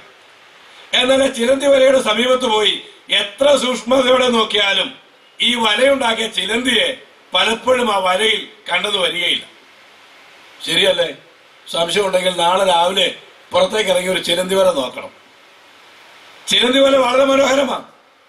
ചിലതൊക്കെ വളരെ വലുതാണ്. പ്രത്യേകമായ ആകൃതിയും ഡിസൈനും ഒക്കെ അത് കാണാം. പക്ഷെ അതിൽ നോക്കിയാൽ ചിലന്തിയെ കാണാൻ കഴിയുകയില്ല. എന്നാൽ ചിലന്തി എപ്പോഴാണ് വരുന്നത്? ഏതെങ്കിലും ഒരു ചെറിയ ജീവി ആ വലയിൽ അകപ്പെട്ടു എന്ന് കണ്ടാൽ ക്ഷണനേരത്തിൽ ചിലന്തി ഓടി വന്ന് അതിന് വല കൊണ്ട് ആ ജീവിയെ വലിഞ്ഞു കെട്ടി അതിനെ ആഹാരമാക്കി മാറ്റും. ചിലന്തി എപ്പോഴും വലയിലില്ലെങ്കിലും അവസരം വരുമ്പോൾ അത് വലയുടെ നടുവിലേക്കോ ആവശ്യമുള്ള സ്ഥലത്തേക്കോ ആ ജീവി വരിക തന്നെ ചെയ്യും. സ്തേഫാനോസിന്റെ പ്രസംഗത്തിന്റെയും ഉള്ളടക്കം ഏതാണ്ട് ഇത് തന്നെയാണ് നിങ്ങൾ ക്രൂശിച്ചു കളഞ്ഞ ഈ യേശുവിനെ നീതിമാനായവനെ ദൈവം അയച്ചപ്പോൾ നിങ്ങളുടെ പിതാക്കന്മാർ അവനെ നശിപ്പിച്ചു അവനെ ക്രൂശിച്ചു അവനെ വേണ്ടെന്ന് പറഞ്ഞു അവനെ പുറക്കാരോട് ചവിട്ടിക്കളഞ്ഞു പക്ഷേ അവൻ പണ്ടേ ഇവിടെ ഉണ്ടായിരുന്നു എവിടെ ഉണ്ടായിരുന്നു? അവൻ ചരിത്രത്തിലുടനീളം ഉണ്ടായിരുന്നു വേണമെങ്കിൽ അവന് മഹത്വം കാണാൻ കഴിയുമായിരുന്നു. അല്പം ശ്രമിച്ചാൽ അവരുമായി ബന്ധപ്പെടാൻ കഴിയുമായിരുന്നു. പക്ഷെ അവനെ കാണാനോ മനസ്സിലാക്കാനോ ആളുകൾക്ക് കഴിഞ്ഞില്ല. അവൻ ഇവിടെ ഉണ്ടായിരുന്നു ലോകത്തിലുണ്ടായിരുന്നു. ലോകമോ അവനെ അറിഞ്ഞില്ല. ഈ കാര്യം തെളിയിക്കാൻ സ്തേഫാനോസ് ചില ചരിത്ര പുരുഷന്മാരെ കേൾവിക്കാരുടെ മുമ്പാകെ ഹാജരാക്കുന്നുണ്ട്. ഏഴാം അധ്യായത്തിന്റെ ആദ്യ വാക്യങ്ങൾ നമുക്കത് വായിച്ചു കേൾക്കാം. ഇവിടെ അബ്രഹാമിന്റെ ചരിത്രം തുടങ്ങി സ്തേഫാനോസ് യേശുക്രിസ്തുവിനെ ചൂണ്ടിക്കാണിക്കാം. ചരിത്രത്തിന്റെ നടുനായകത്വം വഹിച്ച ചരിത്രത്തിന്റെ ചുക്കാൻ പിടിച്ച ചരിത്രത്തിന്റെ അമരക്കാരനായിരുന്ന കർത്താവ യേശുക്രിസ്തു എന്ത് ചെയ്തു? ഏതാണ്ട് ബി സി രണ്ടായിരം വരെയുള്ള കാര്യങ്ങൾ മാത്രമേ പറയുന്നുള്ളൂ. കാരണം യഹൂദന്മാരാണ് തന്റെ പ്രസംഗത്തിന്റെ കേൾവിക്കാരായിരിക്കുന്ന ആളുകൾ. അവർക്ക് പരിചയമുള്ളതായ ആ ഭാഗം മാത്രം പറഞ്ഞിട്ട് അത്രയും തന്നെ എടുത്താൽ ആ ചരിത്രത്തിൽ നിറഞ്ഞു നിന്ന് വെളിപ്പെടുത്തിയത് ഈ പുരുഷനാണ് ദൈവം പറഞ്ഞയച്ച പുരുഷനാണ് എന്ന് താൻ തെളിയിക്കാം. ഒന്നാമത്തെ വാക്യം വായിച്ചാൽ നമ്മുടെ പിതാവായ അബ്രഹാം ഹാരാനിൽ വന്ന് വാർക്കും മുമ്പേ മെസപ്പൊത്തോമയിൽ ഇരിക്കുമ്പോൾ തന്നെ തേജോമയനായ ദൈവം അവന് പ്രത്യക്ഷനായി. ആർക്ക് പ്രത്യക്ഷനായി? അബ്രഹാമിന് പ്രത്യക്ഷനായി. അന്യ ദൈവങ്ങളെ ആരാധിച്ചുകൊണ്ട് അന്യ ദൈവങ്ങളെ ഉണ്ടാക്കിക്കൊണ്ടിരുന്ന വലിയ ഒരു ജനക്കൂട്ടത്തിന് നടുവിൽ ഒരു ദിവസം ദൈവം ഈ അബ്രഹാമിന് പ്രത്യക്ഷനായി. അബ്രഹാമിന് പ്രത്യക്ഷനായിട്ട് അവനോട് പറഞ്ഞു അബ്രഹാമേ ഞാൻ നിന്നെ കാണിപ്പാനിരിക്കുന്ന ദേശത്തേക്ക് നീ പോകണം. ഇപ്പോൾ ഏതാണ്ട് എഴുപത്തിയഞ്ച് വയസ്സ് പ്രായമായിരിക്കാണ് പുത്രോത്പാദനത്തിലുള്ള എല്ലാ ശേഷിയും അവസാനിച്ചു. നിന്റെ ഭാര്യയുടെ ഗർഭപാത്രത്തിന്റെ നിർജീവാവസ്ഥ എനിക്കറിയാം. എങ്കിലും വിശ്വാസത്തിൽ ക്ഷീണിക്കാതെ നീ മുൻപോട്ട് നീങ്ങണം. ഞാൻ നിനക്ക് ഒരു സന്തതിയെ തരാം. ഞാൻ നിനക്ക് ഒരു ദേശം തരാം. അതുകൊണ്ട് എത്രയും വേഗം പുറപ്പെട്ടു പോകണം. ദൈവത്തിന്റെ വിളിയും നിയോഗവും ഉണ്ടായപ്പോൾ അബ്രഹാം രണ്ടു പ്രാവശ്യം ആലോചിച്ചില്ല. ജഡരക്തങ്ങളോട് ആലോചന ചോദിച്ചില്ല. തനിക്ക് വെളിപ്പെട്ട ദൈവം ജീവനുള്ള ദൈവമാണെന്ന് മനസ്സിലായി. ഇതുവരെ ആരാധിച്ചുകൊണ്ടിരുന്ന ദൈവങ്ങൾക്ക് കണ്ണുണ്ടെങ്കിലും കാണാത്ത ദൈവങ്ങൾ കാതുണ്ടെങ്കിലും കേൾക്കാത്ത ദൈവങ്ങൾ കൈയുണ്ടെങ്കിലും പ്രവർത്തിക്കാത്ത ദൈവങ്ങൾ കാലുകളുണ്ടെങ്കിലും നടക്കാത്ത ദൈവങ്ങൾ കൊണ്ടുവച്ചിടത്തിരിക്കുന്ന ദൈവങ്ങളെ ആരാധിച്ചു വന്ന അബ്രഹാമിന് ഒരു പ്രത്യേകമായ പ്രത്യക്ഷതയുണ്ടായി. ആരുടെ പ്രത്യേക പ്രത്യക്ഷതയാണ്? തേജോമയനായ ദൈവം. ഗോഡ് ഓഫ് ഗ്ലോറി എന്ന് ഇംഗ്ലീഷിൽ നാം വായിക്കുന്നു. തേജസ് ഉള്ളവനായ ദൈവം. മറ്റെല്ലാ ദൈവങ്ങളെക്കാളും വ്യത്യസ്തതയുള്ള തേജസ് ഉള്ള ഒരു ദൈവം. ഞാൻ വളരെ വിശദീകരിക്കാതെ പറയട്ടെ ഈ ദൈവം ആരാണ്? കുരുന്തർക്ക് എഴുതിയ രണ്ടാം ലേഖനം നാലാം അധ്യായത്തിന്റെ ആദ്യ വാക്യങ്ങൾ വായിച്ചു വരുമ്പോൾ പൗലോസ് അവിടെ ഈ തേജോമയനായ ദൈവം ആരാണ്? എന്നതിനെ കുറിച്ച് വളരെ തെളിവായി പറയുന്ന പ്രത്യേകമായ ഒരു വാക്യമുണ്ട്. നാലാം അധ്യായത്തിന്റെ നാലാം വാക്യം അവിടെ നാം ഇങ്ങനെ വായിക്കുന്നു. യേശുക്രിസ്തുവിന്റെ തേജസ്സുള്ള സുവിശേഷത്തിന്റെ പ്രകാശനം ശോഭിക്കാതിരിക്കേണ്ടതിന് ഈ ലോകത്തിന് ദൈവം അവിശ്വാസികളുടെ മനസ്സ് കുരുടാക്കി. തേജസ്സുള്ള സുവിശേഷം. ആരുടെ സുവിശേഷമാണ്? തേജോമയനായ ദൈവത്തിന്റെ സന്ദേശമാണ് തേജസ്സുള്ള സുവിശേഷം. അങ്ങനെയാണെങ്കിൽ അബ്രഹാമിന് വെളിപ്പെട്ട ഹാരാനിൽ ഇരിക്കുമ്പോൾ മെസപ്പൊത്തോമിൽ ഇരിക്കുമ്പോൾ അബ്രഹാമിന് പ്രത്യക്ഷനായ ആ വ്യക്തി ആരായിരുന്നു? തേജോമയനായ ദൈവം സമം കർത്താവായ യേശു ക്രിസ്തു അതിനു മുൻപുള്ള ചരിത്രങ്ങളിലേക്ക് ഒന്നും സ്റ്റേഫാനോസ് പോകുന്നില്ല. ദൈവം തന്റെ പ്രത്യേകമായ കാര്യപരിപാടിയിലൂടെ തന്നെ തന്നെ വെളിപ്പെടുത്തുവാൻ ആഗ്രഹിച്ചപ്പോൾ ഒരു മനുഷ്യനെ ആ വെളിപ്പാടിന് വേണ്ടി ദൈവം തിരഞ്ഞെടുക്കുകയായിരുന്നു. അതിന് പിറകിലുള്ള ഏകദേശം രണ്ടായിരം വർഷങ്ങളുടെ ചരിത്രം പരിശോധിച്ചു നോക്കിയാൽ ആദാം തുടങ്ങിയുള്ള കാലഘട്ടത്തിൽ ദൈവം നേരിട്ട് ചില ആളുകളുടെയൊക്കെ അടുക്ക ചെന്നിട്ടുണ്ട്. എന്നാൽ അങ്ങനെ ചെന്ന സമയങ്ങളിലൊക്കെ ദൈവത്തിന്റെ വെളിപ്പാടുകളെ നല്ലൊരു പങ്കാളികളും ആളുകളും പുറംകാലുകൊണ്ട് ചവിട്ടിക്കളയുണ്ടായി മനുഷ്യൻ പാപം ചെയ്തു.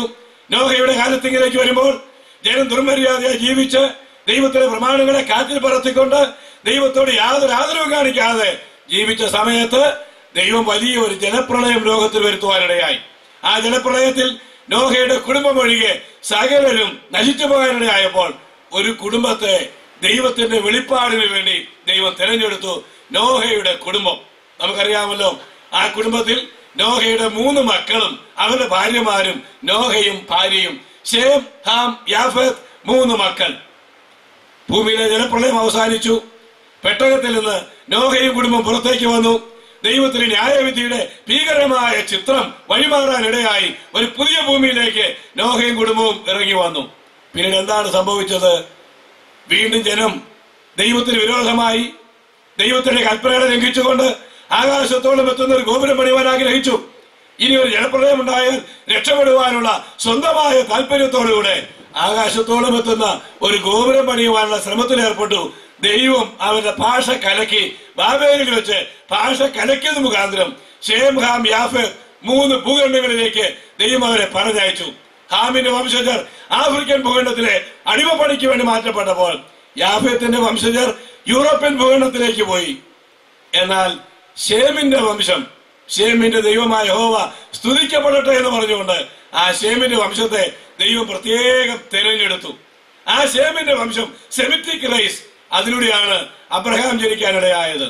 ആ അബ്രഹാമിലൂടെയാണ് അബ്രഹാമിന്റെ പുത്രനായ ദാവീദിന്റെ പുത്രനായ യേശു ക്രിസ്തു ദൈവത്തെ വെളിപ്പെടുത്തുവാൻ ലോകത്തിലേക്ക് ഇറങ്ങി വന്നത്. ദൈവത്തിന്റെ അത്ഭുതകരമായ കാര്യപരിപാടികളുടെ മുമ്പാകെ സ്തേഫാനോസ് വാചാലനായി തീരുകയാണ്.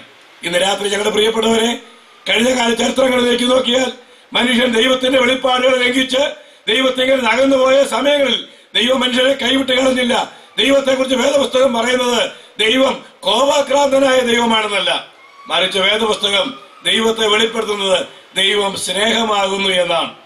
നമുക്ക് വളരെ പരിചയമുള്ള വേദവാക്യമുണ്ടല്ലോ യോഹനായുടെ സുവിശേഷം മൂന്നാം അധ്യായം പതിനാറാം വാക്യം. തന്റെ ഏകജാതനായ പുത്രനിൽ വിശ്വസിക്കുന്ന ഏവനും നശിച്ചു പോകാതെ നിത്യജീവൻ പ്രാപിക്കേണ്ടതിന് ദൈവം അവന് യേശുക്രിസ്തുവിനെ നൽകുവാൻ തക്കവണ്ണം ലോകത്തെ സ്നേഹിച്ചു. വേദപുസ്തകം വെളിപ്പെടുത്തുന്ന ദൈവം സ്നേഹവാനായ ദൈവമാണ്. പാപത്തെ കാണുമ്പോൾ ശിക്ഷിക്കുവാൻ ദൈവത്തിന് നീതി നിർബന്ധിക്കുന്നു എന്നുള്ളത് അതിന് മറുവശമാണെങ്കിൽ ദൈവത്തിന്റെ സ്വഭാവം ദൈവം സ്നേഹമാണ്. യോഹനാന്റെ ലേഖനത്തിലും നമ്മളിങ്ങനെ വായിക്കുന്നുണ്ടല്ലോ ദൈവം സ്നേഹമാകുന്നു. വേദപുസ്തകം വെളിപ്പെടുത്തുന്ന ദൈവം ചരിത്രത്തിലുടനീളം വെളിപ്പെട്ട ദൈവം ആ ദൈവം സ്നേഹവാനായ ദൈവമാണ് സ്നേഹിക്കുന്ന ദൈവമാണ്. അബ്രഹാമിന് വെളിപ്പെട്ടു അവനെ വിളിച്ചിറക്കി അവനെ അനുഗ്രഹിക്കുവാൻ ദൈവം ആഗ്രഹിച്ചു.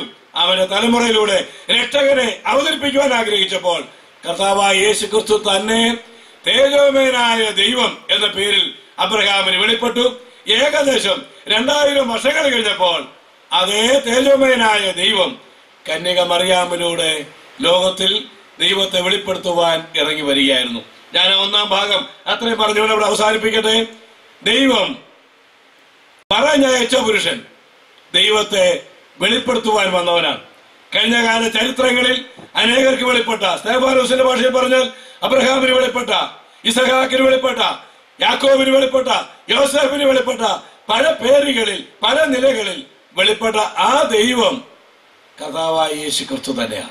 ആ വെളിപ്പാടിന്റെ എല്ലാം പിൻപിലുള്ള ഏറ്റവും പ്രധാനമായ രഹസ്യം ദൈവം നമ്മെ സ്നേഹിക്കുന്നു ദൈവം നമ്മെ കരുതുന്നു ദൈവം നമ്മെ നടത്തുവാൻ ആഗ്രഹിക്കുന്നു ദൈവം നമ്മെ ഉയർത്തുവാൻ ആഗ്രഹിക്കുന്നു ദൈവത്തിന്റെ രക്ഷാപദ്ധതി സാഗരം അറിഞ്ഞിരിക്കണം എന്നുള്ള ആഗ്രഹത്തോടെ ദൈവം തന്നെത്താൻ വെളിപ്പെടുത്തുന്ന ദൈവമാണ്.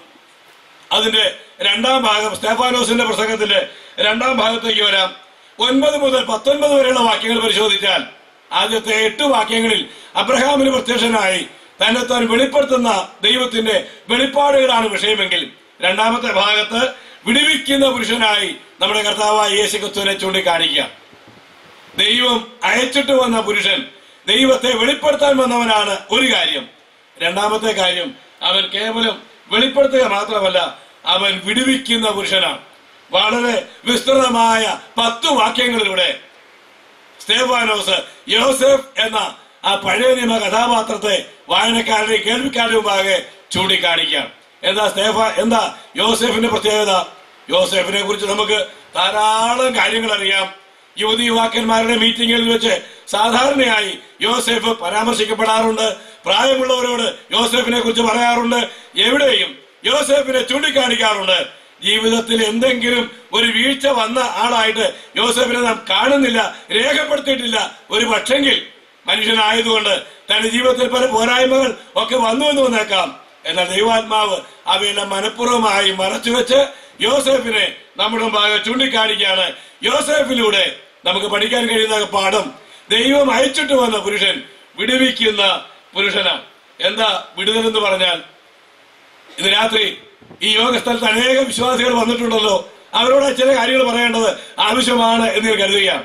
യോസെഫിന്റെ ജീവിതം പരിശോധിച്ചാൽ ഇതുപോലെ ചെയ്യാത്ത കുറ്റത്തിനു വേണ്ടി നിരപരാധിത്വം തെളിയിക്കാൻ എല്ലാ നിലയിലും മാർഗമുണ്ടായിട്ടും നിരപരാധിയായി ശിക്ഷ അനുഭവിച്ച നിരപരാധിയായി വേദന അനുഭവിക്കാനിടയായ വേറെ ഏതെങ്കിലും ഒരു കഥാപാത്രത്തെ നമുക്ക് ചൂണ്ടിക്കാണിക്കാൻ കഴിയുന്നുണ്ടോ? ജോസഫിന്റെ ജീവിതം നോക്കിയാൽ ദൈവം അയച്ചിട്ട് വന്ന പുരുഷൻ ആ കാലത്തും ഈ കാലത്തും നമ്മെ നമ്മുടെ കഷ്ടതകളിൽ നിന്ന് വിടുവിക്കുന്നവനാണ് എന്ന് മനസ്സിലാക്കാൻ കഴിയും. ചെയ്യാത്തതായ തെറ്റുകൾ സ്വന്തം സഹോദരന്മാരെ അന്വേഷിച്ചുകൊണ്ട് ദോധാനിലേക്ക് പോയ അവർക്ക് ആഹാരവുമായി കുടിക്കുവാൻ പാനീയവുമായി പോയ ഈ യോസേഫിനെ സഹോദരന്മാർ കണ്ട് അവനെ പിടിച്ച് ഒരു പൊട്ടക്കുഴിയിലിട്ടു. മിഥ്യാന്റെ കച്ചവടക്കാർക്ക് അവനെ വിറ്റു. പൊത്തിഫറിന്റെ വീട്ടിൽ ഒരടിമയായി അടിമപ്പണി ചെയ്ത് കഷ്ടതയുടെ പാരമ്യം അനുഭവിക്കാനിടയായ ഞെരുക്കങ്ങളുടെ നെല്ലിപ്പലക കാണാനിടയായ ദാരിദ്ര്യത്തിന്റെ നെല്ലിപ്പലക കാണുവാനിടയായ ഒരു മനുഷ്യനായി യോസെഫിനെ നമുക്ക് കാണാൻ കഴിയുന്നുണ്ട്. എന്റെ പ്രിയപ്പെട്ടവരെ കർത്താവ് തന്നെത്താൻ വെളിപ്പെടുത്തി ദൈവികമായ വെളിപ്പാടുകൾ നമുക്ക് ലഭിച്ച് ദൈവികമായ മാർഗത്തിലേക്ക് വന്ന വിശ്വാസ സമൂഹത്തിന് കഷ്ടതകൾ ഒരു വരമാണ് എന്ന് ദൈവത്തിന്റെ വചനത്തിൽ വായിക്കാൻ കഴിയുന്നുണ്ട്. ഒരു പക്ഷേ ഇന്ന് രാത്രി ഈ യോഗസ്ഥലത്തോ ദൂരെയൊക്കെ ഇരുന്ന് ഞങ്ങളെ കാണുകയും കേൾക്കുകയും ചെയ്യുന്നവരിൽ വിശ്വാസത്തിന് വേണ്ടി ഇറങ്ങി പുറപ്പെട്ടത് മുഖാന്തരം പലവിധമായ നഷ്ടങ്ങൾ കഷ്ടതകൾ പോരാട്ടങ്ങൾ രോഗങ്ങൾ ക്ലേശങ്ങൾ ഇവയൊക്കെ അനുഭവിച്ചുകൊണ്ട് മുൻപോട്ട് നീങ്ങുന്നവരായിരിക്കാം. യോസേഫ് നമുക്കൊരു നല്ല വെല്ലുവിളി നൽകുകയാണ്. യോസേഫിന്റെ കഷ്ടത അതിൽ തന്നെ ഒരു അവസാനമായിരുന്നില്ല. ആ കഷ്ടതയിലൂടെ നീങ്ങിയ യോസെഫിനെ ദൈവത്തിന് എത്രത്തോളം ഉയർത്താൻ കഴിയുമോ അത്രത്തോളം ഉയർത്തി. മിസ്രൈമിൽ ഫറവാൻ കഴിഞ്ഞാൽ അടുത്ത ആളായി ഈ യോസെഫിനെ ഉയർത്തിയതിന്റെ പിന്നിൽ ദൈവം നമുക്കൊരു നല്ല മാതൃകാ പാഠം ചൂണ്ടിക്കാണിക്കുന്നുണ്ട്. ജീവിതത്തിൽ കർത്താവിന് വേണ്ടി പോരാട്ടങ്ങൾ അനുഭവിച്ചാൽ കർത്താവിന് വേണ്ടി ഞെരുക്കങ്ങൾ അനുഭവിച്ചാൽ വിശ്വാസത്തിന് വേണ്ടി തിക്താനുഭവങ്ങൾ അനുഭവിക്കാനിടയായാൽ ഇന്നല്ലെങ്കിൽ നാളെ അതിനൊരു അറുതി ഉണ്ടാകുമെന്നും അതിനപ്പുറത്ത് ഒരു മഹത്വമുണ്ടെന്നുള്ളതായ മനോഹരമായ പാഠം യോസെഫ് നമുക്ക് തരുകയാണ്. ഞാൻ ഇന്നും ഇന്നലെയും ഒക്കെ ക്രൈസ്തവ ലോകത്തിൽ ഏറ്റവും അധികം ആദരിക്കപ്പെട്ട ഒരു വനിതയെ കുറിച്ചുള്ള ലേഖനങ്ങൾ വായിച്ചുകൊണ്ടിരിക്കുകയായിരുന്നു. ഫാനി ക്രോസ്ബി എന്ന് പറയുന്ന ആ ആ ആ പ്രസിദ്ധയായ വനിത. ഒരു പക്ഷെങ്കിൽ ഇവിടെ ഇരിക്കുന്ന പലർക്കും അവരെ പരിചയമുണ്ടായിരിക്കും എന്ന് വിചാരിക്കുകയാണ്. ഇംഗ്ലീഷ് ഭാഷയിലെ പാട്ടുകൾ കേട്ടിട്ടുള്ള പാടുന്ന ആളുകൾക്ക് ഈ ഫാനി ക്രോസ്ബിയെ ഒരിക്കലും മറക്കാൻ കഴിയുന്നതല്ല. ഇംഗ്ലീഷിലെ ഏറ്റവും മനോഹരമായ പാട്ടുകളെല്ലാം അവർ തന്നെ എഴുതിയതാണ്. ഏതാണ്ട് അയ്യായിരത്തിലധികം പാട്ടുകൾ എഴുതിയ ഒരു വനിതയാണ് ഫാനി ക്രോസ്ബി. നമ്മുടെ ആത്മീയ ഗീതങ്ങളെ ഒരുമിച്ച് ചേർത്തിരിക്കുന്ന ഇംഗ്ലീഷ് പാട്ടുകളിൽ പലതും ഫാനി ക്രോസ്ബിയുടെ പാട്ടുകളാണ്. എന്തുകൊണ്ട് ചുരുക്കം ചില പാട്ടുകളിൽ അവരുടെ പേര് മാറിപ്പോയിട്ടുണ്ട് എനിക്ക് സങ്കടം തോന്നാറുണ്ട്. ഏറ്റവും മനോഹരമായ പാട്ടുകൾ sweet hour of prayer sweet hour of prayer what a friend we have in Jesus blessed assurance pass me not gentle saviour തുടങ്ങിയ അതിമനോഹരങ്ങളായ ഇംഗ്ലീഷ് പാട്ടുകൾ എല്ലാം തന്നെ എഴുതിയിട്ടുള്ളത് ഫാനി ക്രോസ്ബി എന്ന് പറയുന്ന സ്ത്രീയാണ്. നിങ്ങൾക്കറിയാമോ? അവർ ജനിച്ച് ആറാഴ്ചകൾ കഴിഞ്ഞപ്പോൾ കണ്ണിൽ എന്തോ ഒരു അസുഖമുണ്ടായി. ഒരു ഡോക്ടറെ ചികിത്സിച്ചു. ആ ചികിത്സയിൽ പിഴവുണ്ടായി. ആ വനിതയുടെ രണ്ട് കണ്ണുകളും കാഴ്ച നഷ്ടപ്പെട്ടു. പിന്നീട് ഒരിക്കലും അവർക്ക് കാഴ്ച തിരികെ കിട്ടിയില്ല. ആറാഴ്ച കഴിഞ്ഞപ്പോൾ ജനിച്ച് ആറാഴ്ചകൾ കഴിഞ്ഞപ്പോൾ ഫാനി ക്രോസ്ബി ഒരന്ധയായി മാറി. ജീവിതത്തെ ഒരിക്കലും പിറുപിറുക്കാൻ വേണ്ടി ആ വനിത ഉപയോഗിച്ചില്ല. എട്ടാമത്തെ വയസ്സിൽ അവരാദ്യത്തെ പാട്ട് എഴുതി. ആ പാട്ടിന്റെ ആശയം എന്താണെന്ന് അറിയാമോ അന്ധയായി ഞാൻ തീർന്നതുകൊണ്ട് സൃഷ്ടാവിനെ പഴിക്കുവാൻ സൃഷ്ടാവിനെതിരെ പിറുപിറുക്കുവാൻ എല്ലാ ന്യായങ്ങളും എന്റെ ഭാഗത്തുണ്ട്. എന്നാൽ ദൈവസ്നേഹം രുചിച്ചറിഞ്ഞ ഞാൻ ഒരിക്കലും പിറുപിറുക്കയില്ല. ഒരിക്കലും ദൈവത്തെ പണിപറയുകയില്ല എനിക്കതിന് കഴിയുകയുമില്ല എന്തുകൊണ്ട്? ദൈവം ഇപ്പോഴും സ്നേഹവാനാണെന്ന് അന്ധയായി ഞാൻ മനസ്സിലാക്കുന്നു. എന്റെ പ്രിയപ്പെട്ടവരെ നാളുകൾ കുറെ കഴിഞ്ഞു. യൗവന പ്രായമായി കഴിഞ്ഞപ്പോൾ അന്ധനായ ഒരു ക്രിസ്തീയ പ്രവർത്തകനെ ഫാനി ക്രോസ്ബി വിവാഹം കഴിച്ചു. അദ്ദേഹം ഒരു മ്യൂസീഷ്യനായിരുന്നു. ഈ ഫാനി ക്രോസ്ബിയുടെ പാട്ടുകളെ കുറിച്ച് പറയാറുള്ളത് സാങ്കെ മൂടിയുടെ പ്രസംഗത്തിൽ ആളുകൾ ദൈവഭാഗത്തേക്ക് കൊണ്ടുവന്നത് മോഡിയുടെ പ്രസംഗമാണോ സാങ്കേയുടെ പാട്ടുകളാണോ എന്ന് സംശയമുണ്ടെന്ന് നമ്മുടെ ആത്മീയഗീതങ്ങളുടെ മുഖവിലയിൽ നമുക്ക് കാണാൻ കഴിയുന്നുണ്ട്. അങ്ങനെയുള്ള സാങ്കേ ഉപയോഗിച്ച പാട്ടുകളെല്ലാം തന്നെ ഈ ഫാനി ക്രോസ്ബിയുടെ പാട്ടുകളായിരുന്നു. ആരാണ്? അന്ധയായി തീർന്ന ഒരു ബാലിക. ജീവിതത്തിൽ ഒരിക്കലും വെളിച്ചം കാണാത്ത ഒരു പെൺകുട്ടി. അവൾ പറഞ്ഞു ഞാൻ ദൈവത്തെ പഴി പറയുകയില്ല ഞാൻ പിറുവിറുക്കയില്ല കഷ്ടതയുടെ പാനപാത്രം ദൈവം എന്റെ കയ്യിൽ തന്നാൽ ഞാൻ സന്തോഷത്തോടെ ഏറ്റുവാങ്ങി ദൈവത്തിന് അലേലിയ പാടും ഇത് വിശ്വാസ ജീവിതത്തിൽ നമ്മുടെ രക്ഷകൻ നമുക്ക് നൽകുന്ന അനുഗ്രഹിക്കപ്പെട്ട ഒരു ജീവിതത്തിന്റെ അനുഭവമാണ്. യോസഫിന്റെ ജീവിതവും ഇത് തന്നെ നമ്മെ പഠിപ്പിക്കുന്നു. നമ്മുടെ രക്ഷകൻ കഷ്ടതയിൽ നമ്മുടെ കൂടെ വന്ന് നമ്മെ താങ്ങി നടത്തി ധൈര്യപ്പെടുത്തി പാട്ടുപാടിപ്പിച്ച് പ്രത്യാശിപ്പിച്ച് വഴി നടത്തുന്ന വിടുവിക്കുന്ന രക്ഷകനാണ്. യോസെഫിൽ നിന്ന് ഒന്നാമതായിട്ട് പഠിക്കാൻ കഴിയുന്ന പാഠം കഷ്ടതയിൽ നമ്മുടെ കർത്താവ് നമ്മെ കൈവിടുകയില്ല. ഇന്ന് രാത്രി വേദനിക്കുന്ന ഹൃദയത്തോടെ ഉത്തരം കിട്ടാത്ത ചോദ്യങ്ങളോടുകൂടെ യോഗസ്ഥലത്ത് വന്നിരിക്കുന്ന സഹോദരി സഹോദരന്മാർ ആരെങ്കിലും ഉണ്ടോ? ഈ ദൃശ്യ ശ്രവണ മാധ്യമങ്ങളിലൂടെ ദൂര രാജ്യങ്ങളിൽ ഇരുന്നുകൊണ്ട് എന്തുകൊണ്ട് ഞാൻ കഷ്ടത അനുഭവിക്കണം? എന്തുകൊണ്ട് ഈ വേദനകൾ ദൈവം എനിക്ക് അനുവദിച്ചു? എന്തുകൊണ്ട് ഞെരുക്കങ്ങൾ? എന്തുകൊണ്ട് ഈ പ്രശ്നങ്ങൾ? എന്തുകൊണ്ട് എന്തുകൊണ്ട് നൂറ് നൂറ് ചോദ്യങ്ങൾ ഉണ്ടാകുമ്പോൾ ഒരു കാര്യം ഓർക്കണം. ജീവിതത്തിന്റെ കഷ്ടതകൾ അതിൽ തന്നെ ഒരു അവസാനമല്ല. പൗലോസിന്റെ ഭാഷയിൽ പറഞ്ഞാൽ കഷ്ടത സഹിഷ്ണുതയെയും സഹിഷ്ണുത സിദ്ധതയെയും സിദ്ധത പ്രത്യാശയും ഉളവാക്കുന്നു എന്ന് പറഞ്ഞ് കഷ്ടങ്ങളിൽ പ്രശംസിക്കാൻ കഴിയും. ആർക്ക് കഴിയും? ദൈവം അയച്ചിട്ട് വന്ന പുരുഷൻ രക്ഷകനായി തീർന്ന ആളുകൾക്ക് മാത്രം സാധിക്കുന്ന കാര്യമാണ്. നമുക്കറിയാം ഈ നാടുകളിൽ ധാരാളം ആത്മഹത്യകളെ കുറിച്ച് നമ്മൾ വായിക്കുകയും കേൾക്കുകയും ഒക്കെ ചെയ്യാറുണ്ട്. ആത്മഹത്യകൾ ഇന്നൊരു വലിയ വിഷയമല്ലാതായി തീർന്നിരിക്കുക. നിസാരമായ കാരണങ്ങളുടെ പേരിൽ പോലും കുട്ടികളും പ്രായമുള്ളവരും ആത്മഹത്യക്ക് വേണ്ടി ഒരുങ്ങുകയാണ്. കടക്കണി മൂലം തോൽവി മൂലം മാനഹാനി മൂലം പല പല കാരണങ്ങളാൽ ആളുകൾ പ്രായവ്യത്യാസം കൂടാതെ ആത്മഹത്യക്ക് വേണ്ടി ഒരുങ്ങുകയാണ്. എന്നാൽ ഞാൻ ചോദിക്കട്ടെ ഈ ആത്മഹത്യ ചെയ്തുകൊണ്ടിരിക്കുന്ന ആളുകൾ അനുഭവിക്കുന്ന പ്രശ്നങ്ങളെക്കാൾ പതിന്മടങ്ങ് പ്രശ്നങ്ങൾ ദൈവമക്കൾ അനുഭവിക്കുന്നില്ലേ? നമുക്ക് കടക്കണി ഉണ്ടാകാറില്ലേ? ബാധ്യത ഉണ്ടാകാറില്ലേ? മാനഹാനി ഉണ്ടാകാറില്ലേ? നമ്മുടെ കുഞ്ഞുങ്ങൾ പരീക്ഷയിൽ തോൽക്കാറില്ലേ? നമ്മുടെ കുടുംബങ്ങളിൽ പ്രയാസങ്ങൾ ഉണ്ടാകാറില്ലേ? ഭാര്യ ഭർത്താക്കന്മാർ തമ്മിൽ അഭിപ്രായ വ്യത്യാസങ്ങൾ ഉണ്ടാകാറില്ലേ? നിശ്ചയമായി ഉണ്ടാകാറുണ്ട്. എന്നാൽ എന്തുകൊണ്ട് ആത്മഹത്യ ചെയ്യുന്നില്ല? ഒറ്റ ഉത്തരമേ ഉള്ളൂ. കഷ്ടതയിൽ താങ്ങി നടത്തുന്ന കൈപിടിക്കുന്ന ആശ്വസിപ്പിക്കുന്ന കണ്ണീരൊപ്പുന്ന ഒരു നല്ല രക്ഷകൻ നമുക്കുണ്ട് എന്നുള്ളത് കൊണ്ട് കഷ്ടതകളുടെ നടുവിലും പാട്ടുപാടാൻ സന്തോഷിക്കാൻ നമുക്കിടയായിത്തീരും. യോസേഫിൽ വിടുവിക്കുന്ന കർത്താവിനെ കാണുമ്പോൾ രണ്ടാമതായിട്ടുള്ള പ്രധാനമായ പാഠം പരീക്ഷകളിൽ നിന്ന് ഈ പുരുഷൻ നമ്മെ വിടുവിക്കുന്നവനാണ്. എന്റെ പ്രിയപ്പെട്ടവരെ ഞാൻ ഓർപ്പിച്ചല്ലോ യോസേഫിന്റെ ആ വിശുദ്ധ ജീവിതം ഏതൊരു കാലത്തും നമുക്ക് വലിയ ആവേശമാണ്. നമുക്ക് വലിയ വെല്ലുവിളിയാണ്. മാതാപിതാക്കന്മാർ അവരുടെ കുഞ്ഞുങ്ങളെ കുറിച്ചൊക്കെ ആഗ്രഹിക്കുന്നത് ഞങ്ങളുടെ കുഞ്ഞുങ്ങളൊക്കെ ആണായാലും പെണ്ണായാലും യോസഫിനെ പോലെ ജീവിത വിശുദ്ധിയോടുകൂടെ ജീവിക്കണമെന്നാണ്. ദൈവജനം ആഗ്രഹിക്കുന്നത് സ്ഥലം സഭകളിലെ വിശ്വാസികൾ യോസഫിനെ പോലെ വളരെ വിശുദ്ധരായി ജീവിക്കണമെന്നുള്ളതാണ്. എന്തുകൊണ്ട്? രക്ഷിക്കപ്പെട്ടെങ്കിലും ദൈവകൃപയിലേക്ക് വന്നെങ്കിലും പിന്നെയും പിശാചിന്റെ പോരാട്ടം പരീക്ഷകൾ പ്രായവ്യത്യാസം കൂടാതെ നമ്മെ വേട്ടയാടിക്കൊണ്ടേയിരിക്കും. യോസേഫിന്റെ അന്നത്തെ സാഹചര്യം നാം പ്രത്യേകം ഓർക്കണേ. ഇന്നത്തെ പോലെ ജീവിത വിശുദ്ധിയെ കുറിച്ച് പ്രസംഗിക്കാൻ ആളുകളില്ലാത്ത ഒരു കാലമാണത്. ഇന്നത്തെ പോലെ ഉൽപ്പത്തി പുസ്തകം വായിക്കാനില്ലാത്ത കാലമാണ്. വേദപുസ്തകത്തിന്റെ ഒരു വരി പോലും എഴുതാത്ത കാലഘട്ടത്തിലാണ് യോസഫ് ജീവിച്ചിരുന്നത്. ഇന്നത്തെ പോലെ പരീക്ഷകളിൽ വിടുവിക്കപ്പെടാനുള്ള പാട്ടുകളില്ലാത്ത കാലമാണ്. ഇന്നത്തെ പോലെ പരിശുദ്ധാത്മാവിന്റെ അധിവാസം ഇല്ലാത്ത കാലഘട്ടമാണ്. ഇന്നത്തെ നിന്ന് വളരെ വ്യത്യസ്തമായ ഒരു കാലഘട്ടത്തിലാണ് യോസഫ് ജീവിച്ചിരുന്നത്. ആ കാലഘട്ടത്തിലും യോസഫിനെ കുറിച്ച് വായിക്കുന്നത് ദൈവത്തെ കുറിച്ചുള്ള ഭയം ദൈവത്തെ കുറിച്ചുള്ള ഭയം യോസേഫിനെ മൂടുവാനിടയായതിനാൽ പരീക്ഷിക്കപ്പെട്ട സമയത്ത് തെറ്റിപ്പോകാനുള്ള എല്ലാ സാധ്യതകളും ഉണ്ടായിട്ടും ആ തെറ്റുകളുമാകെ നിന്നുകൊടുക്കാതെ വശംബദ്ധനാകാതെ പാപത്തെ വിട്ടോടാൻ യോസഫിന് ഇടയായത് എന്തുകൊണ്ടാണ്? അവന്റെ കൂടെ ദൈവമുണ്ട് എന്നുള്ളതായ ബോധ്യമാണ്. നമുക്കറിയാമല്ലോ വിവാഹിതയായ പൊത്തിഫറിന്റെ ഭാര്യ അവിവാഹിതനായ യോസെഫ്. തെറ്റിപ്പോകാൻ ആർക്കാണ് സാധ്യത കൂടുതൽ? യോസെഫിനാണ് സാധ്യത.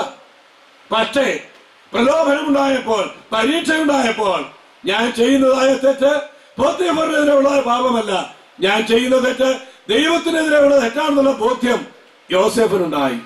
എന്റെ പ്രിയ സഹോദരി സഹോദരന്മാരെ ഈ ഭയം നമ്മൾ സ്കൂളിൽ പോകുമ്പോൾ ഉണ്ടാകാറുണ്ടോ? ഞാൻ പോകുന്ന എല്ലാ സ്ഥലത്തും ദൈവം അയച്ചിട്ട് വന്ന പുരുഷൻ എന്റെ കൂടെ ഉണ്ട് ഞാൻ ലോകാവസാനത്തോളം എല്ലാ നാളും കൂടെ ഉണ്ടെന്നുള്ളത് ഉപദേശിമാരുടെ മാത്രം പറഞ്ഞ കാര്യമല്ല. സ്കൂളിൽ പോകുമ്പോൾ കോളേജിൽ പോകുമ്പോൾ ജോലി സ്ഥലത്ത് പോകുമ്പോൾ ബിസിനസ് സ്ഥലത്ത് പോകുമ്പോൾ യാത്ര ചെയ്യുമ്പോൾ ഒറ്റയ്ക്ക് യാത്ര ചെയ്യേണ്ടി വരുമ്പോൾ ഒറ്റയ്ക്ക് താമസിക്കേണ്ടി വരുമ്പോൾ എവിടെയും ഏത് സ്ഥലത്ത് ചെല്ലുമ്പോഴും ദൈവം നമ്മുടെ കൂടെ ഉണ്ട് ദൈവം അയച്ചിട്ട് വന്ന പുരുഷൻ നമ്മുടെ കൂടെ ഉണ്ട് അവൻ നമ്മെ കൈവിടുന്നവനല്ല. ഈ ഭയം യോസേഫിനുണ്ടായിരുന്നു. നമുക്കറിയാം യോസെഫ് തെറ്റിപ്പോയിരുന്നെങ്കിൽ ലോകത്തിൽ ആരും ആ തെറ്റ് അറിയില്ലായിരുന്നു യോസേഫ് പാപം ചെയ്താൽ അത് മനസ്സിലാക്കാൻ ഒരുത്തരും ഉണ്ടാകില്ലായിരുന്നു. യോസെഫ് പാപം ചെയ്താൽ പ്രസിദ്ധീകരിക്കുവാൻ ആരും ഉണ്ടാകുമായിരുന്നില്ല. രഹസ്യമായി ഗോപ്യമായി ചെയ്യുവാൻ കഴിയുമായിരുന്നു. പക്ഷെ യോസെഫ് പറയുക ദൈവത്തെ കുറിച്ചുള്ള ഭയം കൂടെയുള്ള ദൈവം പരീക്ഷകളിൽ നമ്മെ വിടുവിക്കുന്നവനാണ്. ഞാൻ സ്നേഹത്തോടെ പറയട്ടെ ജീവിത വിശുദ്ധിയുടെ കാര്യത്തിൽ നമ്മുടെ ജീവിതത്തിന്റെ വെള്ള കുപ്പായങ്ങളിൽ ഒരു ചെറിയ കറുത്ത പാട് പോലും വരാൻ അനുവദിക്കാതെ നമ്മുടെ ജീവിതത്തിന്റെ എല്ലാ മേഖലകളിലും സാമ്പത്തിക മേഖലയിൽ ആത്മീകമായ കാര്യങ്ങളിൽ ദാമ്പത്യ ജീവിതത്തിൽ സാമൂഹ്യ ജീവിതത്തിൽ എവിടെയും യോസെഫിനെ പോലെ ഏതാണ്ട് ഉയരമുള്ളവരായി തോൽ മുതൽ ഉയരമുള്ളവരായി മറ്റെല്ലാവരെക്കാളും വിശുദ്ധിയോടുകൂടെ ജീവിക്കുവാൻ നമുക്ക് കഴിയേണ്ടതാണ്. എന്തുകൊണ്ട്? യോസെഫിന് തന്റെ കൂടെയുള്ള ദൈവത്തെ കുറിച്ചുള്ള ഭയമുണ്ടായിരുന്നു. അങ്ങനെയെങ്കിൽ യോസേഫിനേക്കാൾ കൂടുതൽ ഈ കാര്യത്തിൽ കരുതലും ഉത്തരവാദിത്വ ബോധവും നമുക്കുണ്ടാകേണ്ടതല്ലേ?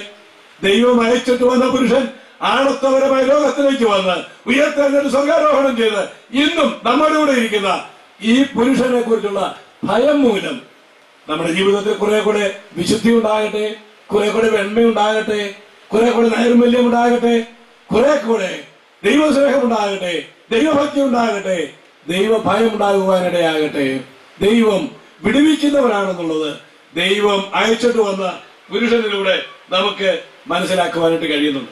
ഞാൻ വീണ്ടും ആ ഭാഗം അവിടെ അവസാനിപ്പിച്ചിട്ട് മൂന്നാമത്തെ ഭാഗത്തേക്ക് വരട്ടെ. ദൈവം അയച്ചിട്ട് വന്ന പുരുഷൻ ഒന്നാമത് ദൈവത്തെ വെളിപ്പെടുത്തി ചരിത്രത്തിലൂടെ ചരിത്ര പുരുഷന്മാരിലൂടെ വെളിപ്പെടുത്തിയ ദൈവമാണ്. രണ്ട് ആ പുരുഷൻ വിടുവിക്കുന്ന പുരുഷനാണ്. മൂന്നാമതായി ഈ പുരുഷൻ രക്ഷിക്കുന്ന പുരുഷനാണ്. ഇരുപതാമത്തെ വാക്യം നമുക്കത് വായിച്ചു കേൾക്കാം. അടുത്ത പ്രധാനപ്പെട്ട കഥാപാത്രം മോശയാണ്. അദ്ദേഹത്തെ കുറിച്ച് പറയുവാൻ അനേക വാക്കുകൾ ഇരുപത് മുതൽ നാൽപ്പത് വരെയുള്ള ഇരുപത് വാക്യങ്ങളിലൂടെ ഒറ്റ ആശയം ചൂണ്ടിക്കാണിക്കാം. സ്തേഫാനോസിന് മോശയെ മറക്കാൻ കഴിയുന്നതല്ല. എന്നാ മോശയുടെ പ്രത്യേകത? അതിന്റെ രക്ഷിക്കുന്ന പുരുഷനെ കുറിച്ച് മുപ്പത്തി അഞ്ചാമത്തെ വാക്യത്തിൽ വായിച്ചാൽ നിന്നെ അധികാരിയും ന്യായകർത്താവുമാക്കിയതാർ എന്നിങ്ങനെ അവർ തള്ളിപ്പറഞ്ഞ ഈ മോശയെ ദൈവം മുൾപ്പറപ്പിൽ പ്രത്യക്ഷനായ ദൂതൻ മുഖാന്തരം അധികാരിയും വീണ്ടെടുപ്പുകാരനുമാക്കി വെച്ചു. ദൈവം അയച്ച പുരുഷൻ അവന്റെ ഒരു ചിത്രമായി പ്രതിനിധിയായി അവന് നിഴലായി മോശയെ കാണുമ്പോൾ ആ മോശയെ കുറിച്ച് പറയുക അവനെ അധികാരിയും വീണ്ടെടുപ്പുകാരനുമാക്കി വെച്ചു അഥവാ രക്ഷകനാക്കി വെച്ചു. മോശ മുഖാന്തരം ഇസ്രയേലിന് ലഭിച്ച രക്ഷയും വീണ്ടെടുപ്പും. യേശുക്രിസ്തു എന്ന രക്ഷകൻ മുഖാന്തരം നമുക്ക് ലഭിക്കുന്ന രക്ഷയോടും വീണ്ടെടുപ്പിനോടും പുതിയ നിയമത്തിൽ പലയിടത്തും താരതമ്യപ്പെടുത്തിയിട്ടുണ്ട്. മനോഹരങ്ങളായ പാട്ടുകൾ അതോട് ബന്ധപ്പെട്ട് എഴുതുകയും നാം പാടുകയും ഒക്കെ ചെയ്യാറുണ്ട്. മോശയിലൂടെ ലഭിച്ച രക്ഷ പുതിയ നിയമകാലത്ത് ദൈവം അയച്ചിട്ട് വന്ന പുരുഷനായ യേശുക്രിസ്തുവിനോട് ലഭിക്കുന്ന വലിയ രക്ഷയുടെ മനോഹരമായ നിഴലാണ്. എന്താണ് ആ നിഴൽ? രണ്ട് പ്രധാനപ്പെട്ട കാര്യങ്ങൾ മാത്രം ഞാൻ ഓർപ്പിക്കാം.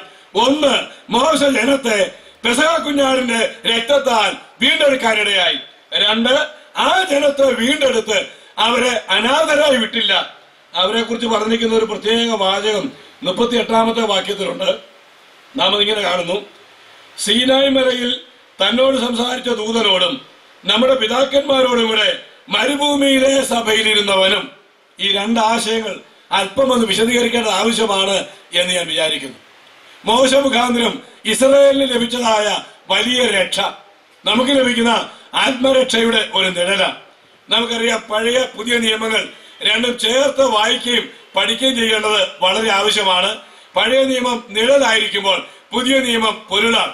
പൊരുൾ ശരിയായി മനസ്സിലാക്കുവാൻ ഈ നിഴലിന്റെ സഹായം കൂടിയേ തീരൂ. അതുകൊണ്ട് പഴയ പുതിയ നിയമങ്ങൾ ഒരുമിച്ച് ചേർത്ത് വേദവിഷയങ്ങൾ പഠിക്കേണ്ടത് വളരെ അത്യാവശ്യമാണ്. നമുക്ക് ലഭിക്കുന്ന രക്ഷയും വിടുതലും.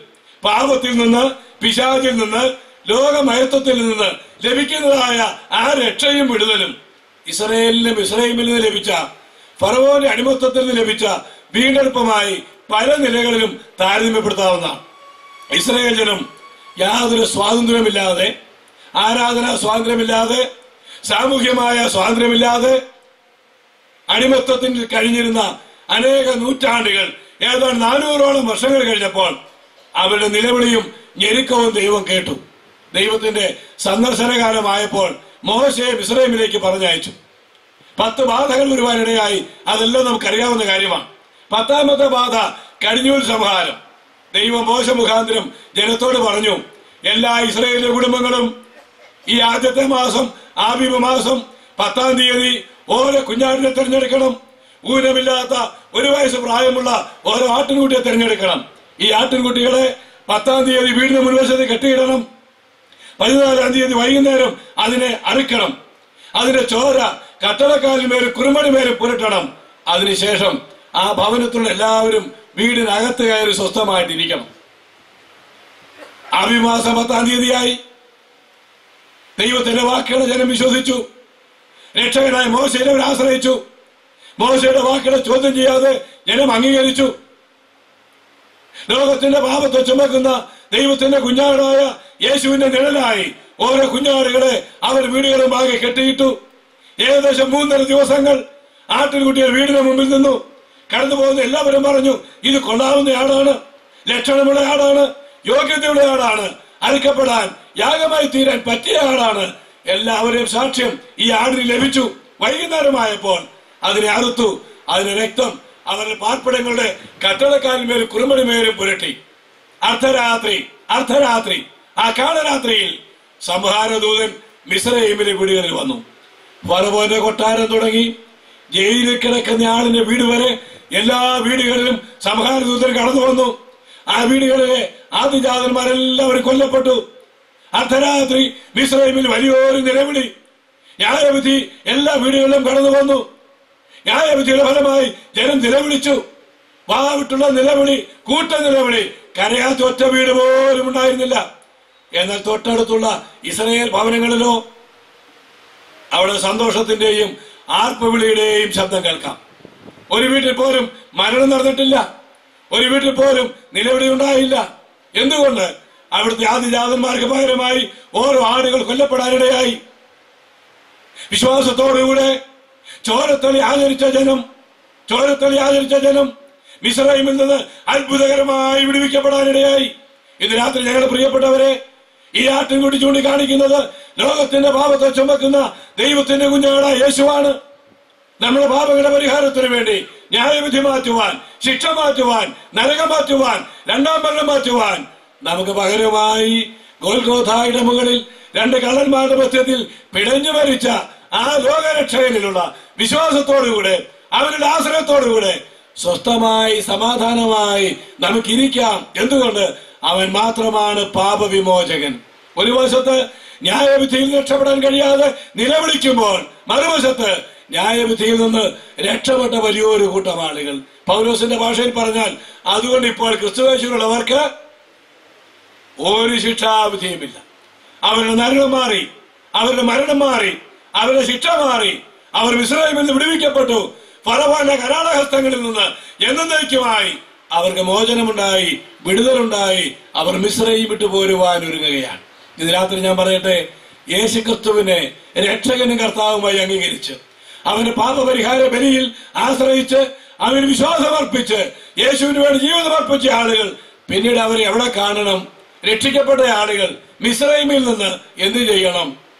പൗലോസ് കൊരിന്തർക്ക് ലേഖനം എഴുതിയപ്പോൾ പറഞ്ഞു സഹോദരന്മാരെ നമ്മുടെ പിതാക്കന്മാർ എല്ലാവരും എല്ലാവരും മിസ്രൈമിലായിരുന്നു. പക്ഷേ അവരെല്ലാവരും ചെങ്കടൽ കടന്നു.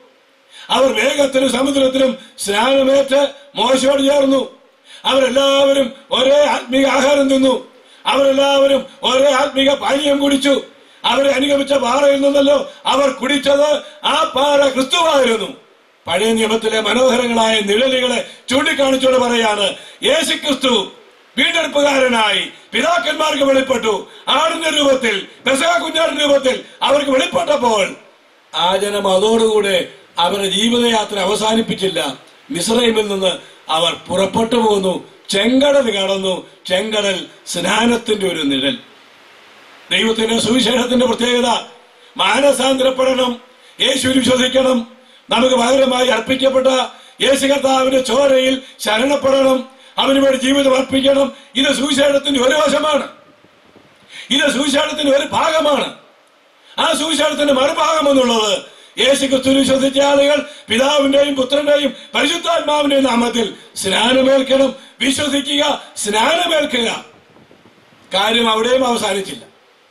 മിശ്രയിൽ നിന്ന് പുറപ്പെട്ടു പോകുന്ന ചെങ്കടൽ കടന്ന ആളുകൾ മരുഭൂമിയിലൂടെ ദീർഘമായ വർഷങ്ങൾ യാത്ര ചെയ്തു. ഈ മരുഭൂമിയിലൂടെ യാത്ര ചെയ്ത ഈ കൂട്ടത്തിന് പറഞ്ഞിരിക്കുന്ന പേരെന്താണ്? ഞാൻ വായിച്ചു കൽപ്പിച്ചല്ലോ മരുഭൂമിയിൽ കൂടെ യാത്ര ചെയ്ത ഏകദേശം മുപ്പത് ലക്ഷം വരുന്ന ഈ ജനത്തിന് സ്നേഹവാനോസ് നൽകുന്ന ഒരു പ്രത്യേകമായ പേരുണ്ട്. ആ പേര് മരുഭൂമിയിലെ സഭ എന്ന മരുഭൂമിയിലെ സഭ. അപ്പൊ മിശ്രയിൽ പോകുന്ന ആളുകൾ ചെങ്കടൽ കടക്കണം. ചെങ്കടൽ കടന്നാൽ പിന്നെ അവർ എവിടെ ആയിരിക്കണം അവർ സഭയിലായിരിക്കണം. ഏത് സഭയിൽ? മരുഭൂമിയിലെ സഭ. ഞാനത് പറയുമ്പോൾ ഒരു പക്ഷെങ്കിൽ നിങ്ങൾ ചോദിച്ചേക്കാം പഴയ നിയമസഭയും പുതിയ നിയമസഭയും ഒന്നാണെന്നാണോ പറയുന്നത്? അല്ലയല്ല രണ്ടും വ്യത്യസ്തങ്ങളായ രണ്ട് കാര്യങ്ങളാ. പുതിയ നിയമസഭ എന്താണ് ഇത് പഠിപ്പിക്കുവാൻ? നാല് പ്രത്യേകമായ സ്ഥലങ്ങളിൽ സഭ എന്നുള്ള വാക്ക് പുതിയ നിയമസഭയോട് ബന്ധപ്പെട്ട് അല്ലാതെ ഉപയോഗിച്ചിട്ടുണ്ട്. അതിലൊന്ന് ഈ ഏഴാം അധ്യായത്തിന്റെ മുപ്പത്തിയെട്ടാം വാക്യത്തിലാണ്. അടുത്ത മൂന്ന് സ്ഥലങ്ങൾ അപ്പോസ്തല പ്രവർത്തികൾ പത്തൊൻപതാം അധ്യായത്തിലാണ്. എഫ് എസ് ഓസിൽ തടിച്ചുകൂടിയ ജനസംഘം പുരുഷാരം ധർമ്മസഭ ഈ നിലകളിൽ സഭ എന്നുള്ള വാക്ക് ഉപയോഗിച്ചിട്ടുണ്ട്. അപ്പൊ രക്ഷിക്കപ്പെട്ട ആളുകൾ പിന്നീട് സ്നാനമേൽക്കണം. സ്നാനമേറ്റ ആളുകൾ സഭയിൽ കാണണം. അതിന്റെ നിഴൽ ഈ മിശ്രയിൽ നിന്ന് വീണ്ടെടുക്കപ്പെട്ട ആളുകളുടെ ചരിത്രത്തിലൂടെ കാണുമ്പോൾ സഭ എന്താണ് എന്നുള്ളത് നാം ഓർത്തിരിക്കണം. എന്താ സഭ എന്ന് പറഞ്ഞാൽ? സ്റ്റെഫാനോസിന്റെ ഈ വാക്കനുസരിച്ചാൽ സഭ എന്ന് പറഞ്ഞാൽ മിസ്രൈമിൽ നിന്ന് രക്ഷിക്കപ്പെട്ട് വേർപെട്ട ആളുകൾ മിസ്രൈമിൽ നിന്ന് പുറപ്പെട്ടു പോകുന്ന ചെങ്കടൽ കടന്ന് സ്നാനമേറ്റ ആളുകൾ. അവർ പ്രത്യേകമായ ഉദ്ദേശത്തോടുകൂടെ വിളിക്കപ്പെട്ടവരായതുകൊണ്ട് പ്രത്യേകമായ ലക്ഷ്യത്തോടുകൂടെ യാത്ര ചെയ്തവരായതുകൊണ്ട് അങ്ങനെ പ്രത്യേകമായ ഉദ്ദേശത്തോടുകൂടെ വിളിക്കപ്പെട്ട ആളുകളുടെ കൂട്ടത്തിന് സഭ എന്ന പേരുണ്ട്. പുതിയ നിയമത്തിൽ സഭ എന്നുള്ള വാക്ക് നൂറ്റി പതിനാല് പ്രാവശ്യങ്ങളിൽ നമ്മൾ വായിക്കുന്നുണ്ട്. നൂറ്റി പതിനാല് പ്രാവശ്യങ്ങൾ. ആ നൂറ്റി പതിനാല് പ്രാവശ്യങ്ങളിൽ നാല് പ്രാവശ്യം പുതിയ നിയമസഭയോട് ബന്ധപ്പെട്ട് അല്ലാതെയും സഭ എന്നുള്ള മൂലവാക്ക് ഉപയോഗിച്ചിട്ടുണ്ട്. നിങ്ങൾക്ക് നല്ലൊരു പങ്ക് ആളുകൾക്കും അറിയാം. സഭ എന്നതിന് പുതിയ നിയമത്തിൽ ഉപയോഗിച്ചിരിക്കുന്ന വാക്ക് എക്ലീസിയ എന്നൊരു വാക്കാണ്. ആ വാക്കിന്റെ അർത്ഥം വിളിക്കപ്പെട്ടവരുടെ കൂട്ടം വിളിച്ചു ചേർക്കപ്പെട്ടവരുടെ കൂട്ടം എന്നാണ് ആ ആശയത്തിൽ അപ്പോസ്തല പ്രവർത്തികൾ ഏഴാം അധ്യായത്തിൽ പഴയ നിയമ ഇസ്രായേലിനെ കുറിച്ച് സഭയെന്ന് വിളിച്ചിട്ടുണ്ട്. അവർ കനാലിലേക്ക് പോകാൻ വിളിക്കപ്പെട്ടവരായിരുന്നു. പ്രവർത്തികൾ പത്തൊമ്പതാം അധ്യായത്തിൽ എഫ് എസ് ഹൗസിൽ കൂടി വന്നവരായിരിക്കുന്ന ആളുകളുടെ കൂട്ടം അവരെ സഭയെന്ന് വിളിച്ചിട്ടുണ്ട്. അവരുടെ ന്യായപാലനം നടത്തുവാൻ വിളിക്കപ്പെട്ട ആളുകളുടെ കൂട്ടത്തിന് ധർമ്മസഭ അതും എക്ലേസിയ എന്ന് വിളിച്ചിട്ടുണ്ട്. ആ നാല് പ്രാവശ്യം ഒഴിച്ചാൽ.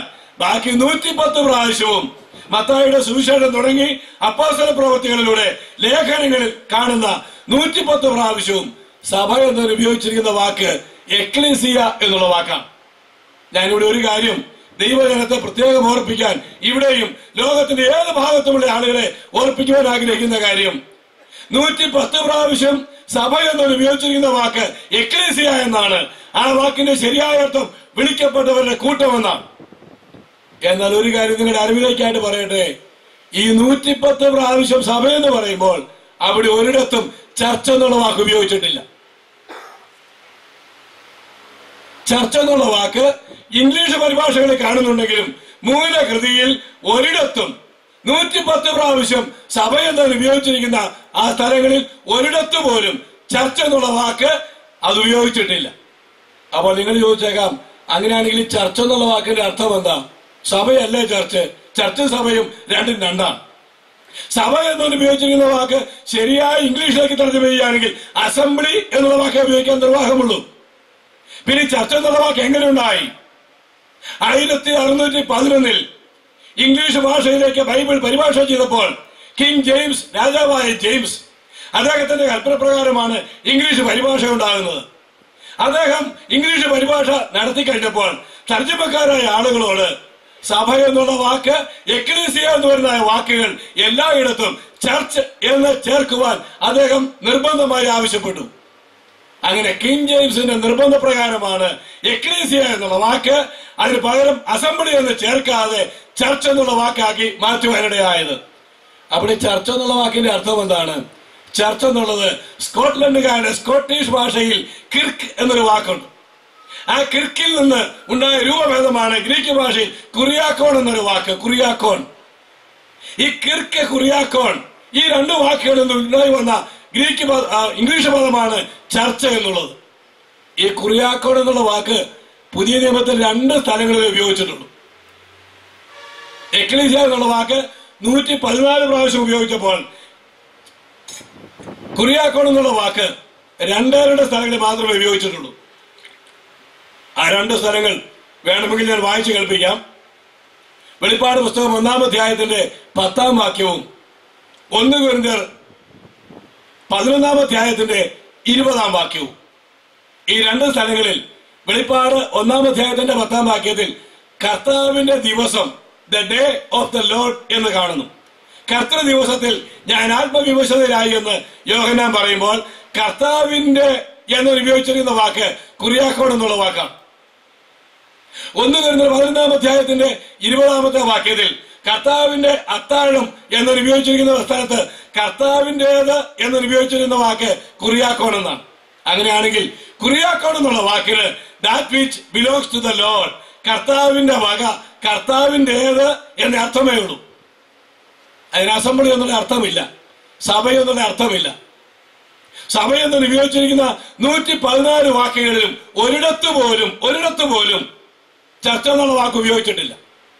അവിടെയെല്ലാം എക്ലേസിയ കൂട്ടം വിളിക്കപ്പെട്ടവരുടെ കൂട്ടം എന്നാണ്.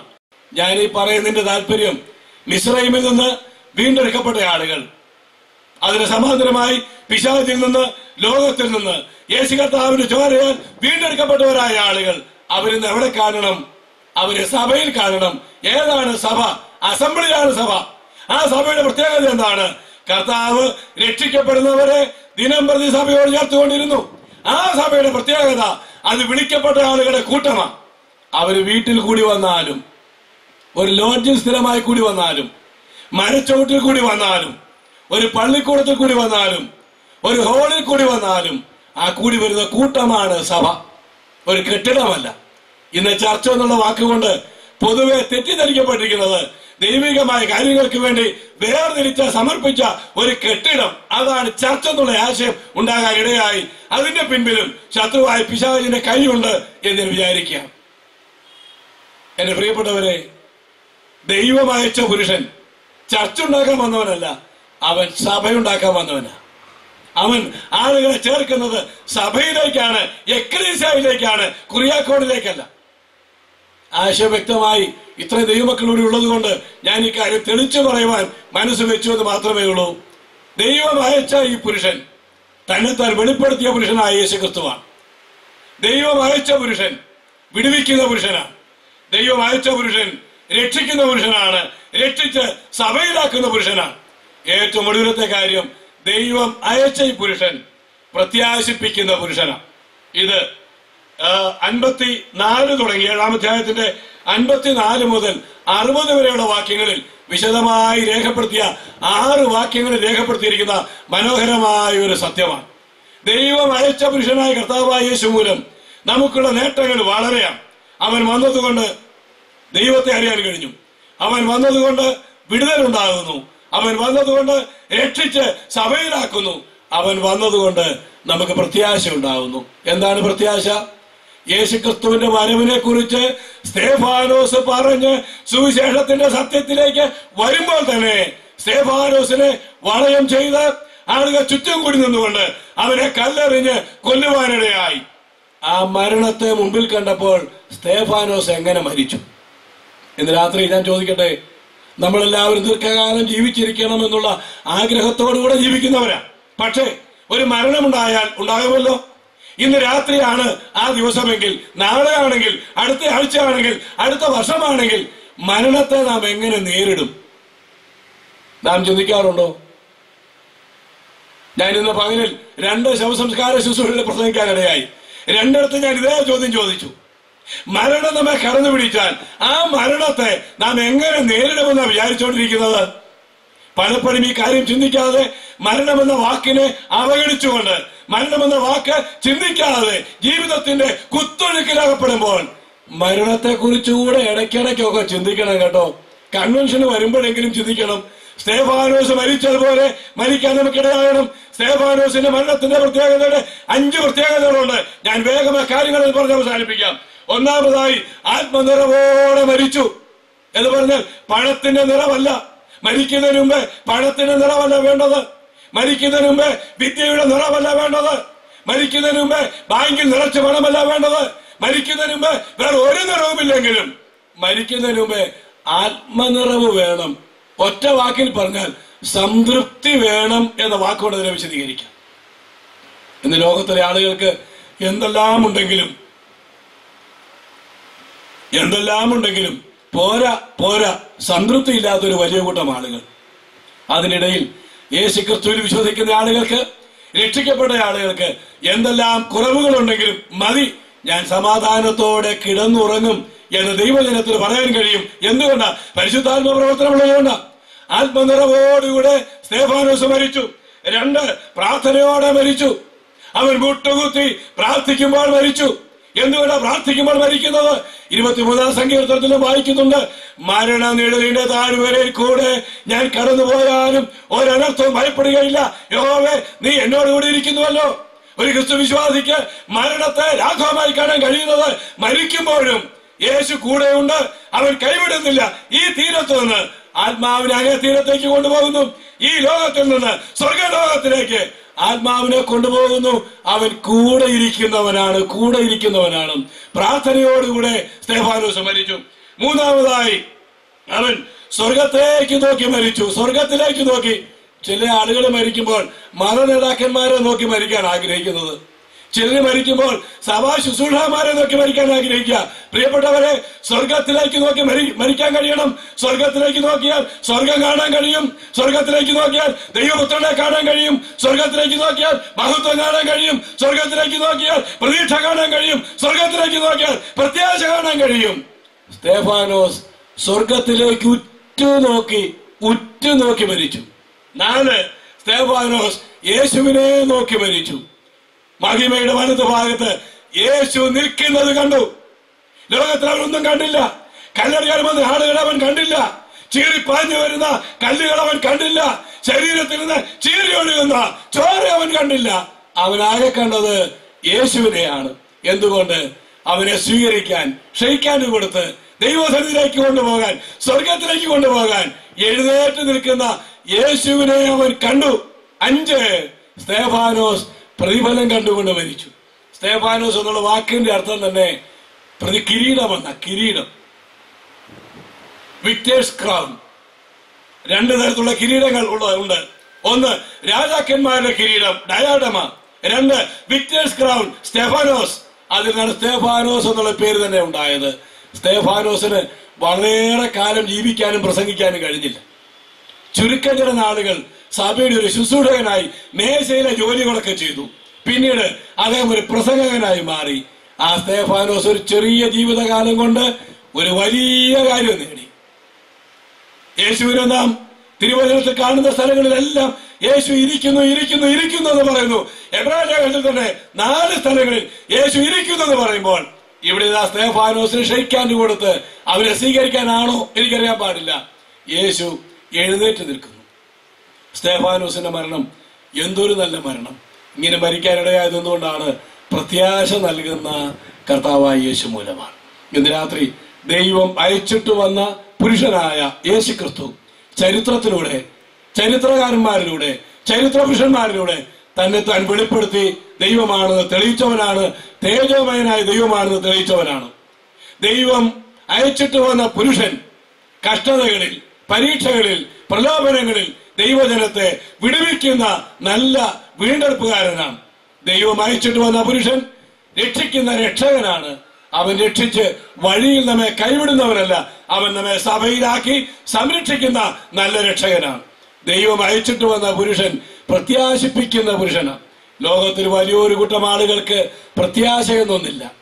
ഈ ലോക ജീവിതത്തിന്റെ കാര്യങ്ങൾ മാത്രം അവരറിയുന്നു. മരണം അതിനടുത്തുള്ള കാര്യം അവർക്ക് ഉത്തരമില്ലാത്ത ചോദ്യങ്ങളായി കീറാമട്ടി പ്രശ്നമായി അവശേഷിക്കുമ്പോൾ ഇന്ന് രാത്രി യോഗ സ്ഥലത്തോ പരിസരങ്ങളിലോ ദൂര രാജ്യങ്ങളിലോ ഇരുന്ന് ഞങ്ങളെ കാണുകയും കേൾക്കുകയും ചെയ്യുന്ന പ്രിയപ്പെട്ടവരെ മരണം എന്ന ആ യാഥാർത്ഥ്യത്തിന് നേരെ കണ്ണടച്ചു കളയരുത്.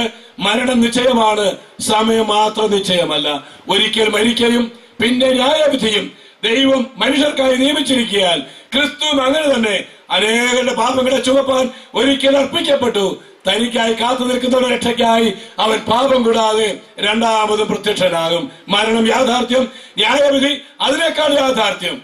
എന്നാൽ നമ്മുടെ ന്യായവിധി മുഴുവനും സ്വന്തം ശരീരത്തിന്മേൽ ഏറ്റെടുത്ത് ഗോൽഗോതായിലെ കുരിശിൽ മരിച്ച് അടക്കപ്പെട്ട് ഉയർത്തെഴുന്നേറ്റ് സ്വർഗത്തിൽ പിതാവിന്റെ വലതുഭാഗത്തിരിക്കുന്ന ഈ രക്ഷകനിൽ ശരണപ്പെട്ടാൽ രക്ഷകന് കർത്താവുമായി അവനെ അംഗീകരിച്ചാൽ സ്തേഫാനോസിനെ പോലെ നമ്മുടെ മരണവിധം ഏതായിരുന്നാലും രോഗിയായി കിടന്നു മരിച്ചാലും അപകട മരണമുണ്ടായാലും വാർദ്ധക്യ സഹജമായ ആ നിലയിൽ മരിച്ചാലും സ്തേഫാനോസിനെ പോലെ ആത്മനിറവോടെ തൃപ്തിയോടെ പ്രാർത്ഥനയോടുകൂടെ എന്റെ ആത്മാവിനെ തൃക്കൈയിൽ ഏൽപ്പിക്കുന്നു എന്ന് പറഞ്ഞ് പ്രാർത്ഥിച്ചുകൊണ്ട് സ്വർഗത്തിലേക്ക് നോക്കി യേശുവിനെ കണ്ടുകൊണ്ട് പ്രതിഫലത്തെ ലക്ഷ്യമാക്കി ഈ ലോക ജീവിതത്തിൽ കർത്താവിന് വേണ്ടി ചെയ്യുന്ന സകല സേവനങ്ങൾക്കും സകല ശുശ്രൂഷകൾക്കും മതിയായ പ്രതിഫലങ്ങളുമായി യേശു രക്ഷകൻ മധ്യാകാശത്തിൽ വരുന്നത് കൊണ്ട് അവനെ എതിരേൽക്കുമ്പോൾ കുറയാത്ത പ്രതിഫലങ്ങളെ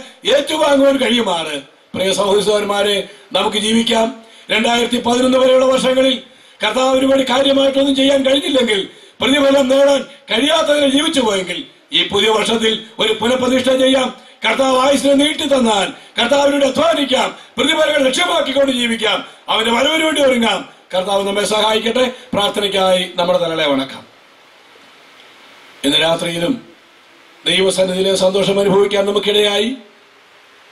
ഒരുമിച്ച് പാടി സന്തോഷിക്കുവാൻ നമുക്ക് അവസരമുണ്ടായി. ദൈവം അയച്ചിട്ട് വന്ന പുരുഷനായ കർത്താവായ യേശുവിനെ കുറിച്ച് സ്തേഫാനോസ് നടത്തിയ പ്രസംഗത്തിന്റെ വിശദീകരണങ്ങളും ദൈവം നമ്മെ കേൾപ്പിച്ചു കഴിഞ്ഞു.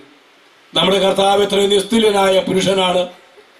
അവനെ പോലെ നിസ്തുല്യനായ ഒരു പുരുഷൻ വരെ ഉണ്ടായിട്ടില്ല. അവനെ പോലെ ഒരു ദൈവമില്ല. അവനെ പോലെ ഒരു രക്ഷകനില്ല. അവനെ പോലെ ഒരു സ്നേഹിതനില്ല. ചരിത്രത്തിലൂടെയും ചരിത്ര പുരുഷന്മാരിലൂടെയും അവരുടെ ജീവിതങ്ങളിലൂടെയും നമ്മുടെ കർത്താവ് വെളിപ്പെട്ടപ്പോൾ താൻ സ്നേഹമായ ദൈവമാണെന്ന് വെളിപ്പെടുത്തി. ആ ദൈവം വിടുവിക്കുന്ന ദൈവമാണെന്ന് വെളിപ്പെടുത്തി. അവൻ രക്ഷകനാണെന്ന് വെളിപ്പെടുത്തി. അവൻ പ്രത്യാശിപ്പിക്കുന്ന പുരുഷനാണെന്ന് വെളിപ്പെടുത്തി. ഇന്ന് രാത്രി ദൈവത്തിന്റെ വചനം കേട്ടപ്പോൾ ഈ സന്ദേശത്തോട് ക്രിയാത്മകമായി പ്രതികരിക്കുവാനുള്ള കടമയും ഉത്തരവാദിത്വവും നമുക്കുണ്ട്. നമ്മുടെ വിലയോർത്തതുപോലെ സ്തേഫാനോസിനെ പോലെ ഏതെങ്കിലും ഒരു വിധത്തിൽ ലോകത്തിൽ നിന്ന് മരണത്താൽ നിന്ന് മാറ്റപ്പെടേണ്ടവരാണ്. ഈ മരണം മുന്നറിയിപ്പ് കൂടാതെ കടന്നു വരുന്ന ഒരതിഥി മാത്രമാണ്. മരണം നമ്മെ കടന്നു പിടിച്ചാൽ എത്ര ഭീകരമായ ഒരു അനുഭവമായിരിക്കും അത്? രക്ഷിക്കപ്പെട്ടിട്ടില്ല എങ്കിൽ നരകശിക്ഷ മാറിയിട്ടില്ലെങ്കിൽ ന്യായവിധി മാറിയിട്ടില്ലെങ്കിൽ എന്റെ പ്രിയപ്പെട്ടവരെ നിങ്ങൾ വഞ്ചിക്കപ്പെട്ടു പോയി. ഇതുവരെയും രക്ഷിക്കപ്പെടാതെ മാനസാന്തരപ്പെടാതെ യേശുവിന് വേണ്ടി നിങ്ങളുടെ ജീവിതങ്ങൾ അർപ്പിക്കാൻ കഴിഞ്ഞിട്ടില്ലെങ്കിൽ അതിഭയങ്കരമായ ഒരു നരകമുണ്ട്. അതിഭയങ്കരമായ ഒരു ന്യായവിധിയുണ്ട്. ചാകാത്ത മുഴുവൻ കെടാത്ത തീയും ഉള്ള ഗന്ധക തീപ്പയ്യുണ്ട് അവിടേക്ക് ഞങ്ങളുടെ സ്നേഹിതരാരും പോകരുത്. രക്ഷാമാർഗം മലർക്ക് നിങ്ങളുടെ ഭാഗം തുറന്നു വെച്ചിരിക്കുന്നു. നിങ്ങൾക്ക് വേണ്ടി മരിച്ച യേശു കർത്താവിനെ ഇന്ന് രാത്രി വിശ്വാസത്തോടുകൂടെ നിങ്ങളുടെ ഹൃദയത്തിൽ അംഗീകരിച്ച് രക്ഷകനും കർത്താവുമായി സ്വീകരിച്ച് ലളിതമായ ഒരു പ്രാർത്ഥനയോടുകൂടെ യേശുവിനെ നിങ്ങളുടെ ജീവിതത്തിലേക്ക് കൈക്കൊള്ളാമല്ലോ. സമാധാനത്തോടെ ജീവിക്കാമല്ലോ. തൃപ്തിയോടെ ജീവിക്കാമല്ലോ സംതൃപ്തിയോടെ മരിക്കാമല്ലോ സ്വർഗത്തിലേക്ക് പോകാൻ കഴിയുമല്ലോ. ദൈവം നിങ്ങളെ സഹായിക്കട്ടെ. ദൈവം ഈ ആഗ്രഹം നിങ്ങളുടെ ആദ്യമെങ്കിലും ഹൃദയങ്ങളിൽ നൽകിയിട്ടുണ്ടെങ്കിൽ നാളത്തേക്ക് മാറ്റിവെക്കാതെ സമയം വൈകിക്കാതെ യേശു നിങ്ങൾക്കായി മരിച്ചു എന്നുള്ള കാര്യം ഹൃദയത്തിൽ വിശ്വസിച്ച് ലളിതമായ ഒരു പ്രാർത്ഥനയോടുകൂടി യേശുവിനെ നിങ്ങളുടെ ഹൃദയത്തിലേക്ക് കൈക്കൊള്ളുക. ഇപ്രകാരം നിങ്ങൾക്ക് പ്രാർത്ഥിക്കാമല്ലോ. കർത്താവായ യേശുവെ ഞാനൊരു പാപി എന്ന് സമ്മതിക്കുന്നു. എന്റെ പാപത്തിന് പരിഹാരത്തിനു വേണ്ടി അവിടുന്ന് കുരിശിൽ മരിച്ചതിനായി സ്തോത്രം. എന്റെ പാപങ്ങളെ ക്ഷമിക്കണമേ. ഞാൻ ഇന്ന് മുതൽ അങ്ങേക്കായി ജീവിച്ചു കൊള്ളാം. ഈ വിശ്വാസത്തോടുകൂടിയ പ്രാർത്ഥന നിങ്ങൾ കർത്താവിനോട് നടത്തിയിട്ടുണ്ടെങ്കിൽ ദൈവത്തിന് വചനപ്രകാരം കർത്താവിന് പറയാനുള്ളത് മകനെ മകളെ നിന്റെ പാപങ്ങൾ മോചിച്ചിരിക്കുന്നു. സമാധാനത്തോടെ പോക. ഇനി പാപം ചെയ്യരുത്. നമുക്ക് പ്രാർത്ഥിക്കാം. ഞങ്ങളുടെ സ്വർഗീയ പിതാവേ ഈ രാത്രി ഞങ്ങൾക്ക് അനുഗ്രഹമാക്കി തീർത്തതിനായി സ്തോത്രം. അനുകൂലമായ സാഹചര്യം നൽകിയതിനായി സ്തോത്രം. കാലാവസ്ഥയും മറ്റെല്ലാ ചുറ്റുപാടുകളെയും ഞങ്ങൾക്ക് അനുകൂലമാക്കിയതിനായിട്ട് നന്ദി പറയുന്ന കർത്താവെ. നല്ല പാട്ടുകൾ പാടുവാൻ പ്രിയപ്പെട്ടവരെ സഹായിച്ചതിനായി സ്തോത്രം. ക്രമീകരണങ്ങൾ ചെയ്യുവാൻ ഇവിടെ ദൈവജനത്തെ സഹായിച്ചതിനായിട്ട് സ്തോത്രം. വചനം പറയുവാൻ കൃപ നൽകിയതിനായി സ്തോത്രം. കേൾവിക്കാരെ എല്ലാവരും ഓർത്ത് ഞങ്ങൾ പ്രാർത്ഥിക്കുന്നു. യോഗസ്ഥലത്തും ദൂരെയും ഒക്കെ ഇരുന്നുകൊണ്ട് ഞങ്ങളെ കേൾക്കുകയും കാണുകയും ചെയ്യുന്ന എല്ലാവർക്കും വേണ്ടി ഞങ്ങൾ പ്രാർത്ഥിക്കുകയാണ് കർത്താവെ. അവരുടെ പ്രാർത്ഥനയും ആവശ്യങ്ങളും അവിടെ നന്നായി അറിയുന്നതുകൊണ്ട് സ്തോത്രം. അവരെ സന്ദർശിക്കണമേ. വിലയേറിയ രക്ഷയാലും പ്രത്യാശയാലും അവരുടെ ഹൃദയങ്ങളെ നിറയ്ക്കണമേ എന്ന് ഞങ്ങൾ പ്രാർത്ഥിക്കുന്നു. അവിടുത്തെ വരവിന് വേണ്ടി ഞങ്ങളെ ഒരുക്കണമേ. കർത്താവെ പ്രതിഫലത്തെ രാക്കാക്കിക്കൊണ്ട് വിശ്വാസ ജീവിതം നയിക്കുവാൻ ഞങ്ങളെ ഇടയാക്കി തീർക്കണമേ എന്ന് ഞങ്ങൾ പ്രാർത്ഥിക്കുന്നു. എല്ലാ മഹത്വം ഞങ്ങൾ അവിടത്തേക്ക് അർപ്പിക്കുന്നു. വരുന്ന ദിവസങ്ങളുടെ ശുശ്രൂഷകളെയും അവർ നാദരിക്കുമാറാകണമേ സമാധാനത്തോടെ ഞങ്ങളെ പറഞ്ഞയക്കണമേ. വീടുകളെ തുറോളം വലിയ കൃപയിൽ ഞങ്ങളെ കാക്കണമേ. കർത്താവിന്റെ വിലയേറിയ നാമത്തിൽ വളരെ താഴ്മയായി പ്രാർത്ഥിക്കുന്നു. കേൾക്കണം പിതാവേ. ആമേൻ. പിതാവായ ദൈവത്തിന്റെ സ്നേഹവും കർത്താവായ യേശു ക്രിസ്തുവിന്റെ കൃപയും ആശ്വസിപ്പിച്ച് വഴിയെടുത്ത പരിശുദ്ധാത്മാവിന്റെ കൂട്ടായ്മയും നാം എല്ലാവരോടുകൂടെ ഇപ്പോഴും എന്നേക്കും ഇരിക്കുമാറാകട്ടെ ആമേൻ.